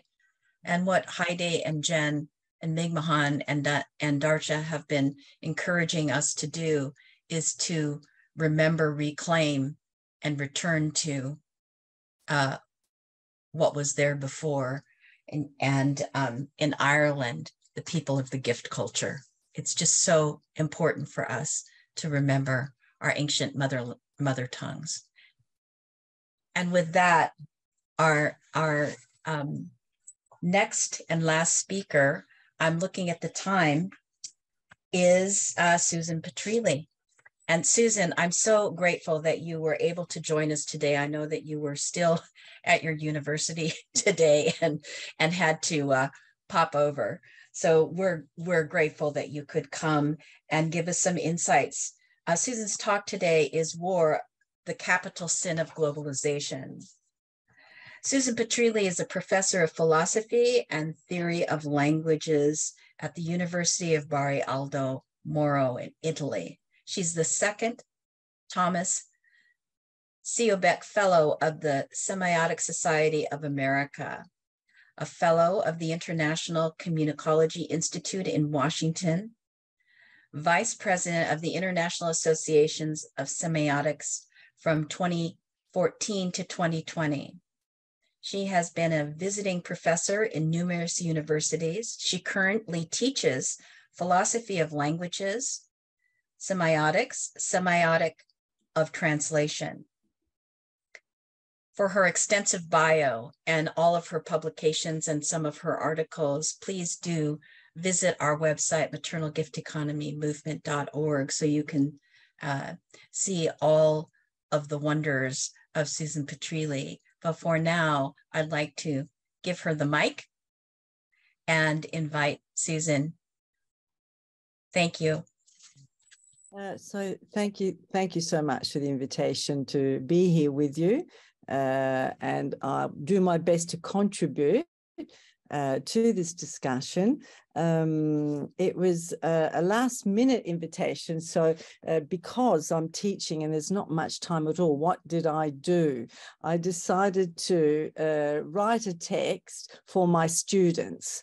And so uh, I wrote a text and, and used this uh, because it, um, uh, it it um, is in line with the topics I'm covering in my course. So I wrote the text in Italian and then frantically tried to translate it into English and let's hope it works because I haven't had time to reread it. So here we go. War, a capital sin of, of globalization. I've divided the text in a series of uh, paragraph titles, um, and we'll see how far we can get. So, uh, point one globalization, profit, and war. Globalization in the current world uh, is the current world mode of exploitation. It is achieved through global communication and communication is vital. So, globalization decides about the life and death of the inhabitants of this planet. Globalization is the planetary extension of capital. Its only law is the law of profit, of interest, one's own profit, one's own self interest, or translated more precisely, mors tua vita mea. In globalization, the adjective innovative is made to coincide with nothing less than destructive. The European Commission has defined the innovative uh, product as the product that destroys similar products already present on the market. Inevitably, competitiveness itself is destructive. The maximum manifestation of the destructive power of globalization is war. Though war is a characteristic mode for the human race of manifesting itself, never before as today can it signify the ultimate extinction of humanity, thanks to progress in technology and the capacity for involvement to the very point of threatening world war. Are there alternatives? Only on one condition that we recover mother sense sense of the maternal, sense of the gift, of gift giving, the sense of opening to the other, unconditional opening, thus, on the condition that we assume a responsibility which is not of the identical order, but rather, if this word still makes sense, of the moral order.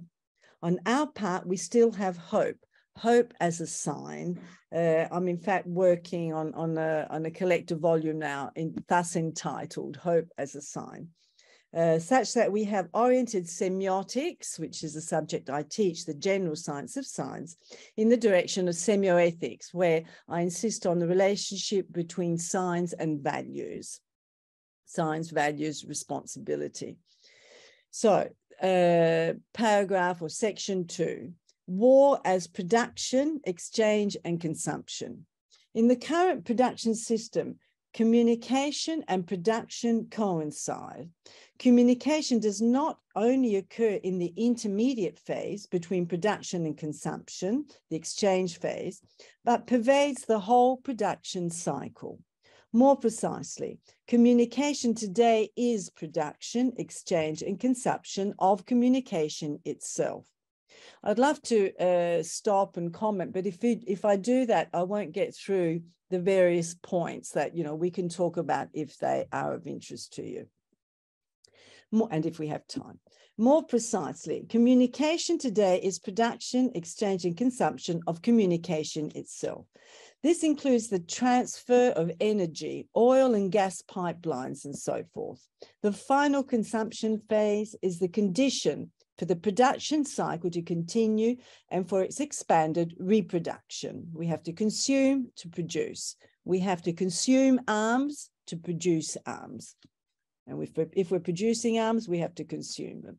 The whole production cycle in the current social form, and not only the intermediate phase, that of exchange, circulation of the market, presents itself as communication, or better, communication production.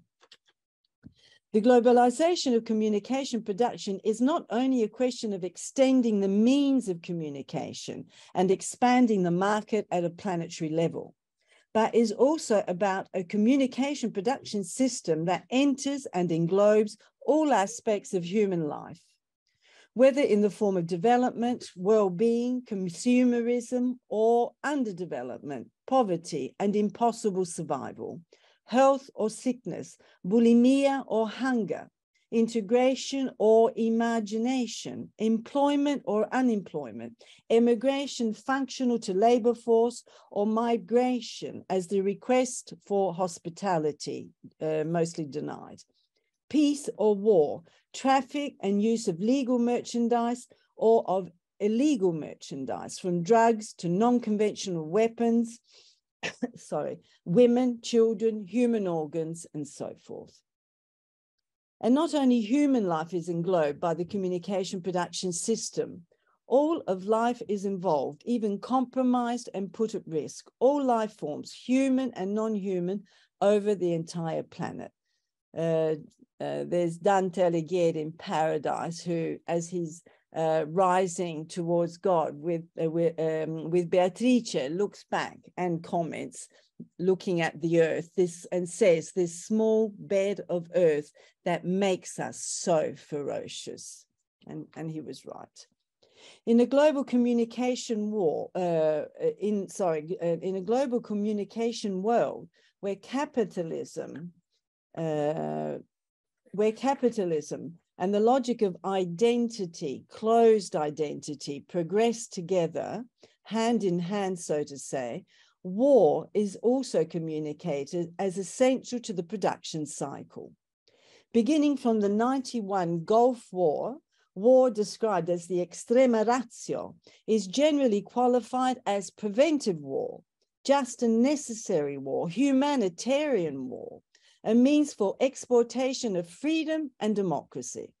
Most recently, it has been described as a special military operation, uh, the Russian invasion of Ukraine. The response to war is war, war on war, thereby perpetuating what was intended to be eliminated.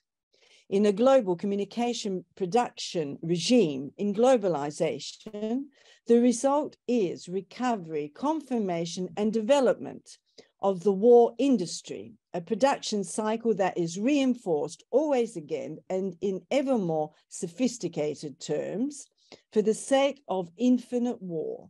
As though in all this there were not in play the end of the human species itself, the end of life, the end of communication over the planet. And here, the allusion is not to the reduced form of communication, um, what we are calling communication production, but vital communication, communication for life, life that is communication. Uh, section three, security and peace. We are very distant today from what was officially ratified uh, by the Helsinki Final Act. That is the final act of the Conference on Security and Cooperation in Europe, uh, which took place in 1975 and excludes war as a solution to international conflict. In addition to European countries, Supporters included Canada, USA, the USSR. Point two in the final, um, in the Helsinki, in the Helsinki Final Act is entitled Refraining from the Threat or Use of Force and establishes the following. Uh, I'm sorry, I, am not organized for a PowerPoint, so I'll just uh, read you this very interesting uh, paragraph from the Helsinki Final Act the participating states will refrain in their mutual relations, as well as in their international relations in general, from the threat or use of force against the territorial integrity or political independence of any state, or in any other manner inconsistent with the purposes of the United Nations and with the present declaration. No consideration may be invoked to serve to warrant resort to the threat or use of force in contravention of this principle. No violence, no war, not even in the form of threat, was admitted. Accordingly, the participating states will refrain from any acts constituting a threat of force or direct or indirect use of force against another participating state. Likewise, they will refrain from any manifestation of force for the purpose of inducing another participating state to renounce the full exercise of its sovereign rights. Likewise, they will also refrain in their mutual relation from any act of reprisal by force. No such threat or use of force will be employed as a means of settling disputes or questions likely to give rise to disputes between them. An important historical event that inaugurates the current state of affairs, today's current state of affairs, where war is on the agenda and even nuclear war is looming, is the Gulf War of 1991. Section four, security and war. So we just talked about security and peace, security through cooperation and dialogue. Now it's security and war. Another important document is that produced by the White House in 2002.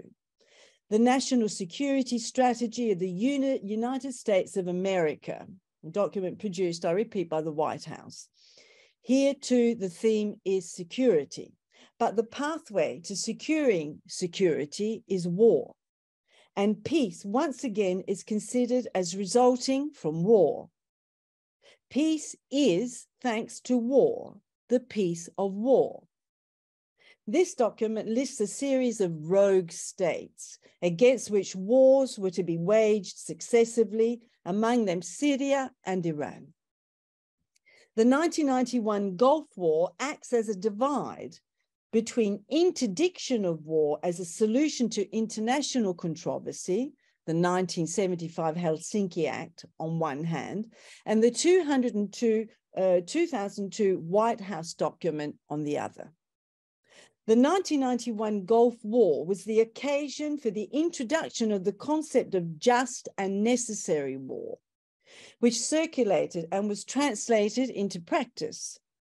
The principle of just and necessary war legitimized the massacre of human lives in territories under fire, military and civil lives, but especially the latter, unintentional collateral damage, as somebody declared.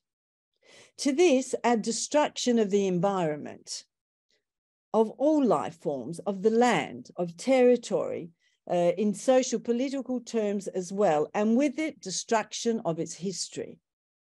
Subsequently, recourse to war at a global level was justified as an instrument for the resolution of national and international conflict.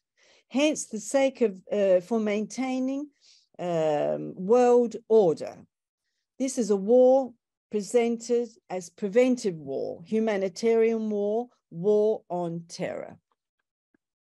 The 202 White House document national, uh, as I said, the national security of the United States of America proclaims that peace and security call for war to stop rogue states, including in Iraq and Syria, from shooting first. That is, preventive war, unending war. This type of war is still happening today to the great satisfaction of the war industry, which guarantees efficiency and duration, resilience and persistence, whether directly, officially, and ostentatiously, or indirectly and underhandedly through illegal, illegal trafficking. Clearly, something has not worked in the language and the diplomacy of national and international politics and thus the rather smooth transition from planning and aspiring to peace and security, as delineated at the time of the Helsinki Conference, through to the wars of the 1990s, to the two year uh, to the uh, year 2000 and onwards, the Gulf Wars, the Balkan Wars, Afghanistan, Libya, Syria, Yemen, Kurdistan, war over the African continent, Congo, Rwanda, Liberia, and so forth and so on, all accompanied by extermination, murder, and genocide. Section 5 Preventive Peace and Armed Security. According to philosopher Emmanuel Levinas, the real problem is not so much uh, for the West, is not so much that of refusing violence as of wanting to avoid violence through violence. That is, by resorting to violence intrinsic to the struggle itself against violence. But war on war does not extinguish what it aims to eliminate. On the contrary, war perpetuates and justifies war violence in the name of a good conscience, a clean conscience. Uh, remember the principle that war is just and necessary. Preventive war is another name for infinite war. Preventive war is not a struggle against the institution of violence, but is itself violence and provocation of violence. Instead, what we need is preventive peace. Preventive peace calls for unindifference. The allusion here is to unindifference as described by Levinas, the expression of an original bad conscience. We could call it a dirty conscience. This is unindifference to the other, to others, autrui. Unindifference is responsibility for the other. But unfortunately, unindifference and responsibility are generally followed by a good conscience, a clean conscience. And a clean conscience ends up allowing one to avoid responsibility for others. Well and truly an illusion. And all this in spite of the condition of indissoluble intrigue, of entanglement, uh, what Levinas calls ethics, which bonds one to the other without escape. This is peace, but it is not the peace of war. This is peace as envisaged by the otherwise than the world as it is, by the otherwise than the being of things as they are. This is peace before the world as it results from war, a world that foresees world, the world war, the world as it is, it's a world based on the logic of identity, closed identity, of being. Paragraph six or section six, for a semioethics of the Helsinki Treaty. Adam Schaff, I, I won't go into who Adam Schaff is now because I don't know that there's enough time, but a, a philosopher of language and semiotician, um, clearly understood the crucial, crucial importance of the 1975 Helsinki Conference and the document it produced, the Helsinki Final Act in 1975. Schaff knew that this document had become a dead letter. This is the tragedy. Consequently, he invited scholars from different nations and from different fields in the human sciences to begin investigation of the Helsinki Final Act in a semiotic key. We have carried on this work here in Bari, keeping account of ethics as understood by Levinas. What today we have uh, coined semioethics. Uh, we analyze documents in a semioethic key where it is absolutely important to insist on the relationship between science and values, science and ideology that permeates uh, semiosis, human thought, language, communication, behavior. So the next section, war and again war for peace. In 203, military intervention against Saddam Hussein uh, who had been accused of possessing arms of mass destruction, which had not been verified neither before intervention nor after Baghdad had been destroyed. Um, so, intervention against Hussein was also justified as a preventive war. But another justification was that this war served for the exportation of democracy. In spite of the lack of formal authorization on behalf of the UN, UN Security Council. Surgical intervention and the embargo had already produced an enormous quantity of deaths before the attack in 2003. Women, men, and children punished for the sins of the Iraqi government, according to the law of retaliation against innocent people. um, the attack oh, this is in Italian, yes. The attack of 203 uh, was carried out in uh, under the slogan shock and awe and has certainly not produced a pacified world, a world in peace. Following the 203 attack, shock and awe, this was the motto of the Freedom for Iraq campaign, Foreign troops remained in Iraq for a long period of time thereafter, officially until 2011. And still today, as we all know, Iraq is all but a pacified country.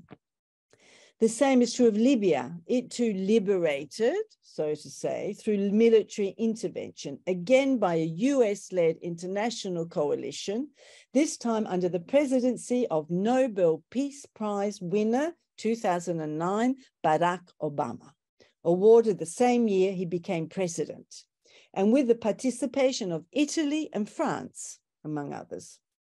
During the intermezzo, wars have succeeded each other in the Balkans, the wars in Yugoslavia, uh, the wars in Yugoslavia. Let us remember the war in Kosovo, with the NATO military intervention in 1999 and participation from Italy Operation Allied Forces. Between 1991 and 1999, not only is war described as just and necessary, but is also justified as humanitarian, humanitarian military intervention, humanitarian military operations. To note is that Italy, under the D'Alema government, never formally declared direct intervention in Kosovo, a question of respecting the Italian constitution, which repudiates the war. That Kosovo, like other parts of former Yugoslavia, was struck with bombs made of depleted uranium derived from nuclear wastes, albeit in small doses and with long lasting effects, far superior to the immediate effects of surgical intervention, is no longer mentioned the thousands and thousands of deaths caused by these wars are mainly civilians. And it is the civilians, those who are still alive, the survivors, refugees, migrants, outcasts, the subjugated, deported, mutilated, offended, deluded, frustrated, angry, exalted, demented, that continue to suffer the consequences of this infinite war. In one way or another, civilians are the victims of a war that never ceases to cease, like capitalism connected to war. What can be described as blind capitalism, blind like a mole, deprived of the capacity for reasonableness, which is something different from reason, more than reason, insensible, that does not admit being called to issue, that proceeds blindly, haphazardly, without reflecting on the consequences, or blind in the sense of no way out, like a dead end, a cul de sac. Next section war and migration. A consequence not only of war, but of the globalization of capitalism is the phenomenon of migration as it currently presents itself today capitalism, uh, which is now blind capitalism, a sort of agonizing beast whose tail smashes lethal blows, but the air blows, but the end of its agony is still not in sight. Migration today is not identifiable with emigration, two completely different phenomena. Because unlike migration, the main characteristic of emigration is that is that it can be englobed by the production system, by the communication production system. Instead, the specificity of migration is the fact that it presents an otherness, an alterity, an excess that cannot be assimilated. Migrants represent a part of humanity that is not reducible to labor merchandise, to the status of labor commodity. Migration is an obstacle to the universalization of the market, to the unlimited extension of the processes of commodification. Homologation inherent to equal exchange is blocked in the face of migration. Another symptom of a system that is not working is, of course, apart from war that we're discussing, uh, migration, unemployment, for example, poverty. This new face of migration manifested itself under our very eyes when almost 35 years ago, on 7th March 1991, 20,000 Albanese refugees, land, refugees landed in the port of Bari. The first wave had already occurred in the port of Brindisi just a few months earlier. Uh, we have dedicated volumes and collective works to these issues as well, uh, among which um, a volume entitled Migrazioni, uh, published in 1993, um, and in it, we uh, published two texts by Umberto Eco, who in 1990 had published a text on migration explaining uh, the difference between emigration and migration. Next section, the question. I just want to check in with you to see how much more time that you you will need. Probably we, another 10 minutes. 10 can you wrap it up in in about five? well, I'm sorry. Yeah. yeah. Um, well, look, I'll, I'll, just read the titles um, of the rest, which is the request for hospitality and the request for work, where uh, I just go into uh, my the difference between emigration and immigration. Um, underlining the fact that emigration uh, is part of the communication production system because we have people shifting across the globe that are absorbed by the workforce. Migration is something completely different. It's an excess with respect to the system, so that what we have before us are people, migrants, who are putting the system into crisis, asking for hospitality, uh, a request that has nothing to do with identity. They're not asking for work and everything to do with the properly human, singularity, otherness in the sense of uh, we are, in the sense that we are before this um, humanity that is asking to be welcomed, uh, to have a place and a possibility of survival on this planet. Um, and so I talk about human rights, uh, which is an, the title of another volume, collective volume that I've uh, published here in Italy in Italian. Uh, and the fact that uh, when we talk about human rights and the rights of the other, which is the title of this volume, the point is that uh, when we talk about human rights, um, we're talking about the rights of identity, and we're not talking about the rights of the other. Human rights are the rights of the I, uh, what Victoria Welby calls ident, of the ego. They are the rights of self interest. An expression that describes the current state of affairs in the world is that used by Pope Francis when he denounces the globalization of indifference. Each for hmm. himself, no need to add and God for all, now an addition of little interest, including the fact of there being the same God, one God for all, each with one's own interest, one's own affairs, mind your own business, each centered on one's own identity, on asserting one's identity. And so the next section, the uniform of identity, uniform, an important word from military language, it distinguishes the regular soldier from the mercenary fighter, from the, the secret agent. It is somehow connected with the uniformity of genre and affiliation, identity genre. Based on indifference and opposition, all identities are put into a uniform, is called to arms, are called to arms, foresee conflict, are called in the literal and metaphor, metaphorical sense to arms. Um, and the risk now present is finding that we must deal once again with that absolute arm, which is the nuclear, nuclear arms. Uh, identity is a trap, a mortal trap, one that must be escaped as a condition for the future, for hope in world peace. Will we ever escape the trap of identity? And so there's a section on non functionality versus productivity and with the concept of non-functionality, uh, we are valorizing alterity, otherness, uh, the each one as a value in oneself for nothing uh, beyond before and beyond serving a specific end an identity end a role. Um, and so therefore I talk about, I explain the difference between relative alterity and absolute alterity, um, concluding that in today's, the right to non-functionality, to being what one is uh, beyond, uh, before and beyond uh, roles, identity roles. The right to non-functionality is the right to count on one's own account to count for oneself as an end in oneself. We're talking about everybody in their singularity. Therefore, uh, the weak, the women uh, in their vulnerability, uh, the sick, uh, children, men, women, no distinction.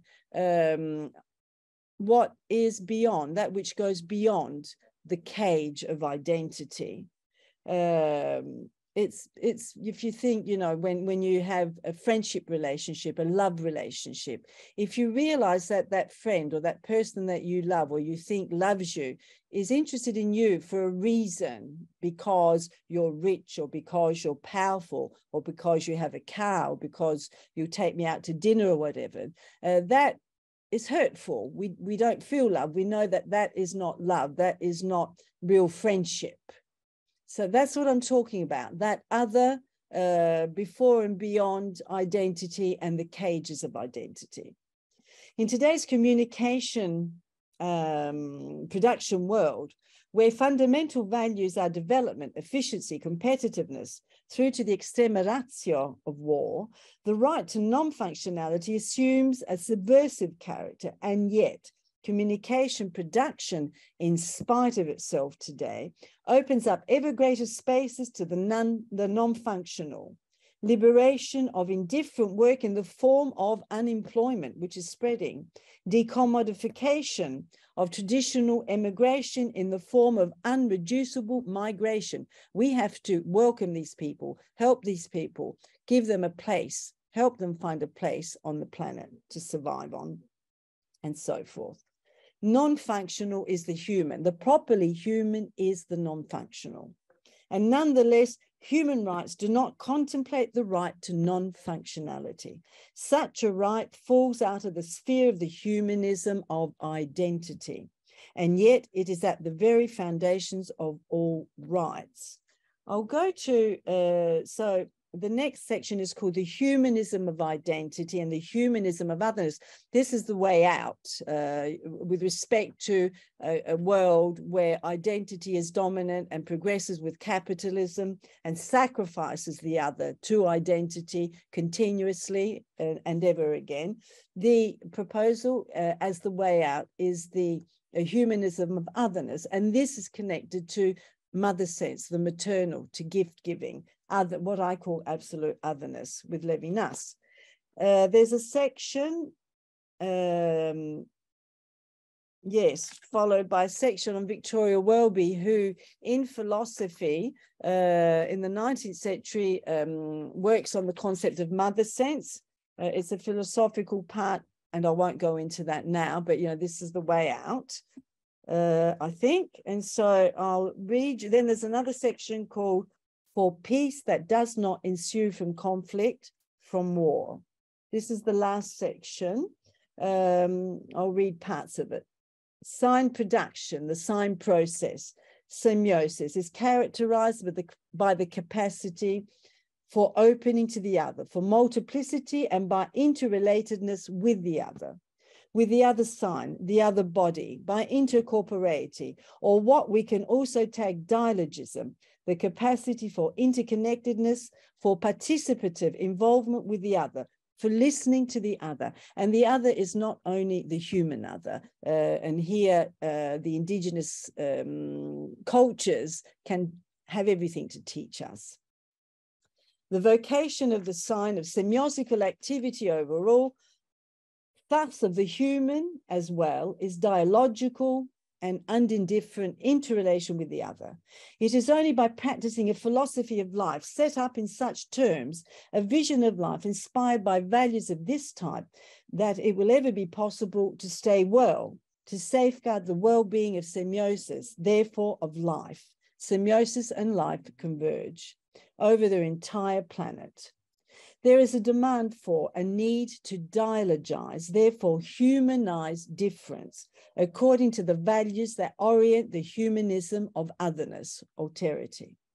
In the name of identity differenced, closed identity, barriers are constructed among differences, whether ethnic, religious, class, or sexual difference, and in defense of identities conceived in these terms, therefore, to the end of rejecting and expelling the other, sacrificing the other, walls are built and wars are justified, qualifying them as preventive, even humanitarian.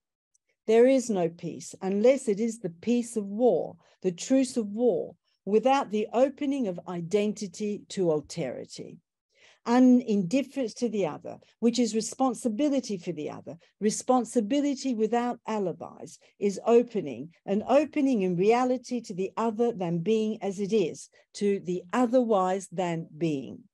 This opening is not an initiative decided by the intentional subject, an effect, once again, of the subject's will. And so there I go into discourse, which I there's not time to go into now. So I'll just go towards the end.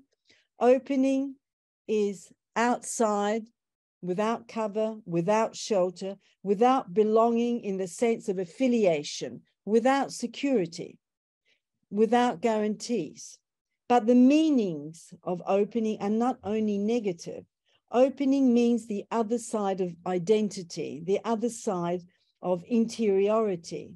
It means demythization of the I, of identity, of its situation, its situation before enclosure in the abstract notions of freedom and non freedom, the situation in which the I is not nailed down to, um, yet again, to one's own being, to one's own identity, to one's own image. Preventive peace liberation from the world of war. This opening, this beyond, its proximity to the other, is proximity to the other. The other, my neighbor, concerns me, is closer to me, a more urgent proximity, more pressing than the nearness, the closeness, the proximity of the being of things, of the world, a proximity closer than presence, a proximity even in the other's absence. Proximity to the other is responsibility for the other. Proximity means my responsibility that cannot be delegated, my uniqueness, my being unique, the only one for the other, my being support for the heavy charge of otherness, alterity. To speak does not only mean that we inevitably speak with the words of others but also that we inevitably find ourselves in a relation of inescapable involvement and implication with the other. So, to speak is inevitably to respond, to answer, in the first place, in the sense of having to respond to answer for oneself, of feeling and finding oneself responsible for the other, in the double sense of in the place of the other and for the sake of the other. The first case of the I, says Levinas, is not the nominative, the nominative, but the accusative. In the face of the other, of the other's um, poverty, need, discomfort, hardship, the I cannot but feel accused, under accusation, cannot but ask its own self, why my being here in this place, in this situation, in these advantageous conditions from which the other is excluded? This question can be followed up with a whole series of. I'm sorry, Susan, we're, we're out of time at this point. I've finished, I've finished. But the question remains. Victoria Welby would call this primary sense, mother sense, a sense that tells of involvement, unindifferent, help and support, participation, dedication, responsibility. In short, a situation where peace and to be at peace converges with love for the other and wanting that other's well being, that other's happiness. Sorry for taking too much time, did I? Mm. Thank you so much, Susan. And thank you everyone for your patience and your attention. Um, as Diane mentioned, we've actually hit the top of our third hour. So we've completed our time with you together um, and doesn't leave us time for questions. But what I'd like to say is that um, we've put in the chat um, websites and contact information for each of our speakers. And I want to invite you all to uh, watch the recording and perhaps use it as a talking point. And then uh, Jen, uh, did you, I'm gonna put Jen on for just a minute and then I'm, uh, we'll come back and wrap us up and say our goodbyes. So Jen. Oh, yes. Uh, thank you, Susan, and thank you everyone so much. I'm sorry we haven't had time to um, dis discuss any of this um, very brilliant uh, work that all of us have done. And maybe we could have another uh, question and answer uh, uh Zoom uh, salon next uh, Saturday, not this Saturday, but the coming Saturday.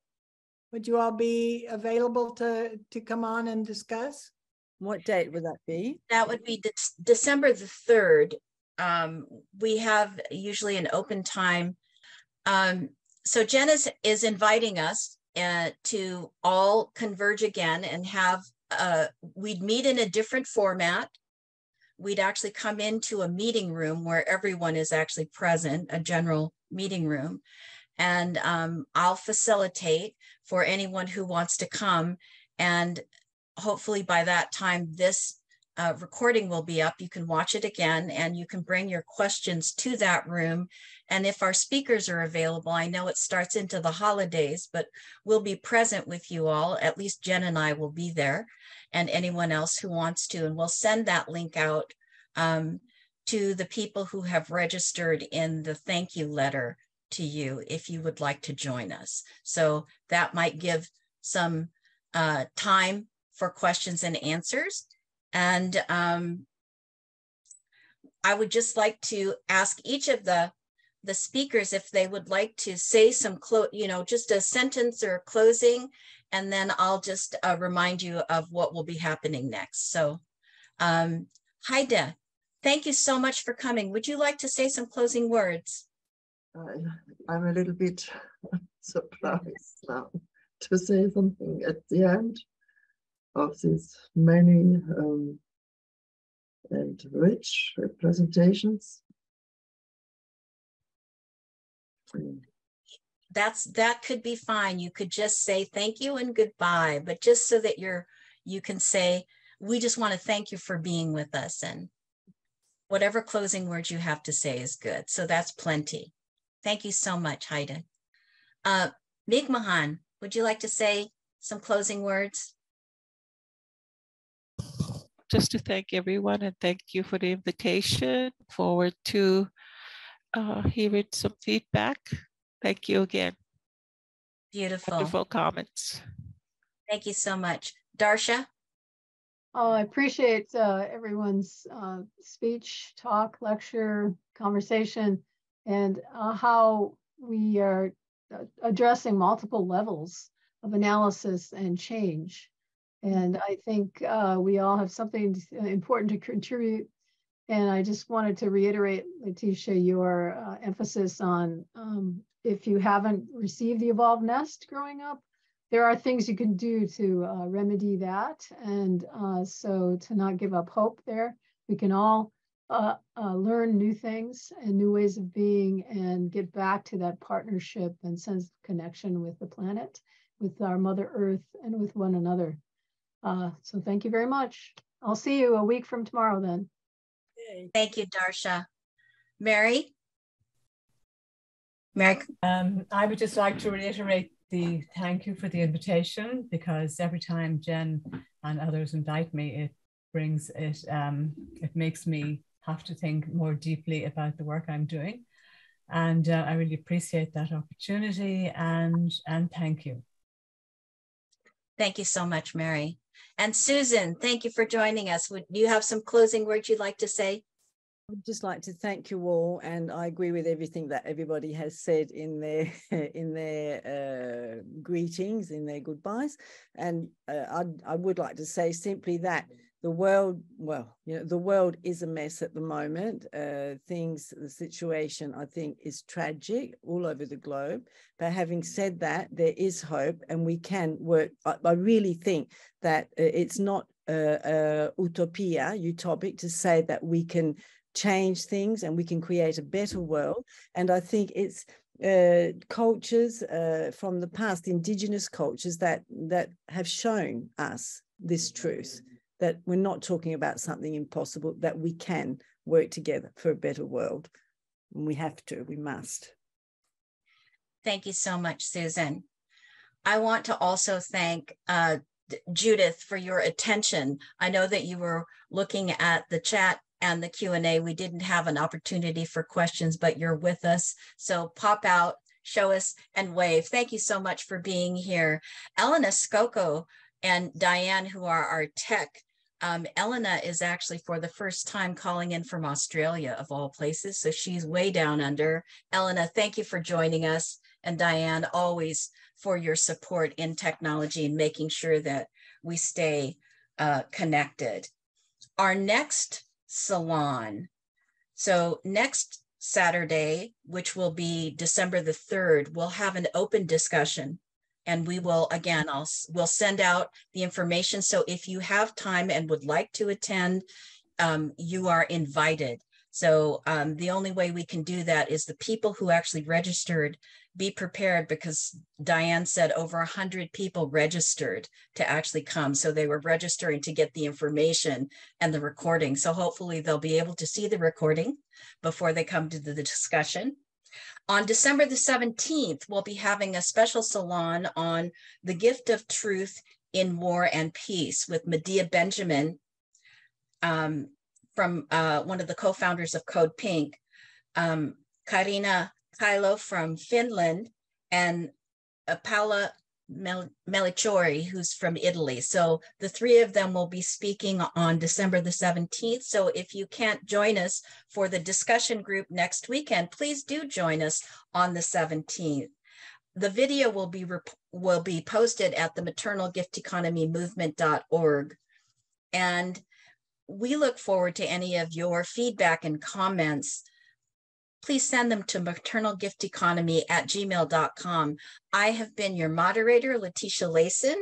So we hope to see you at either December the 3rd for a discussion or December the 17th for our 40th salon.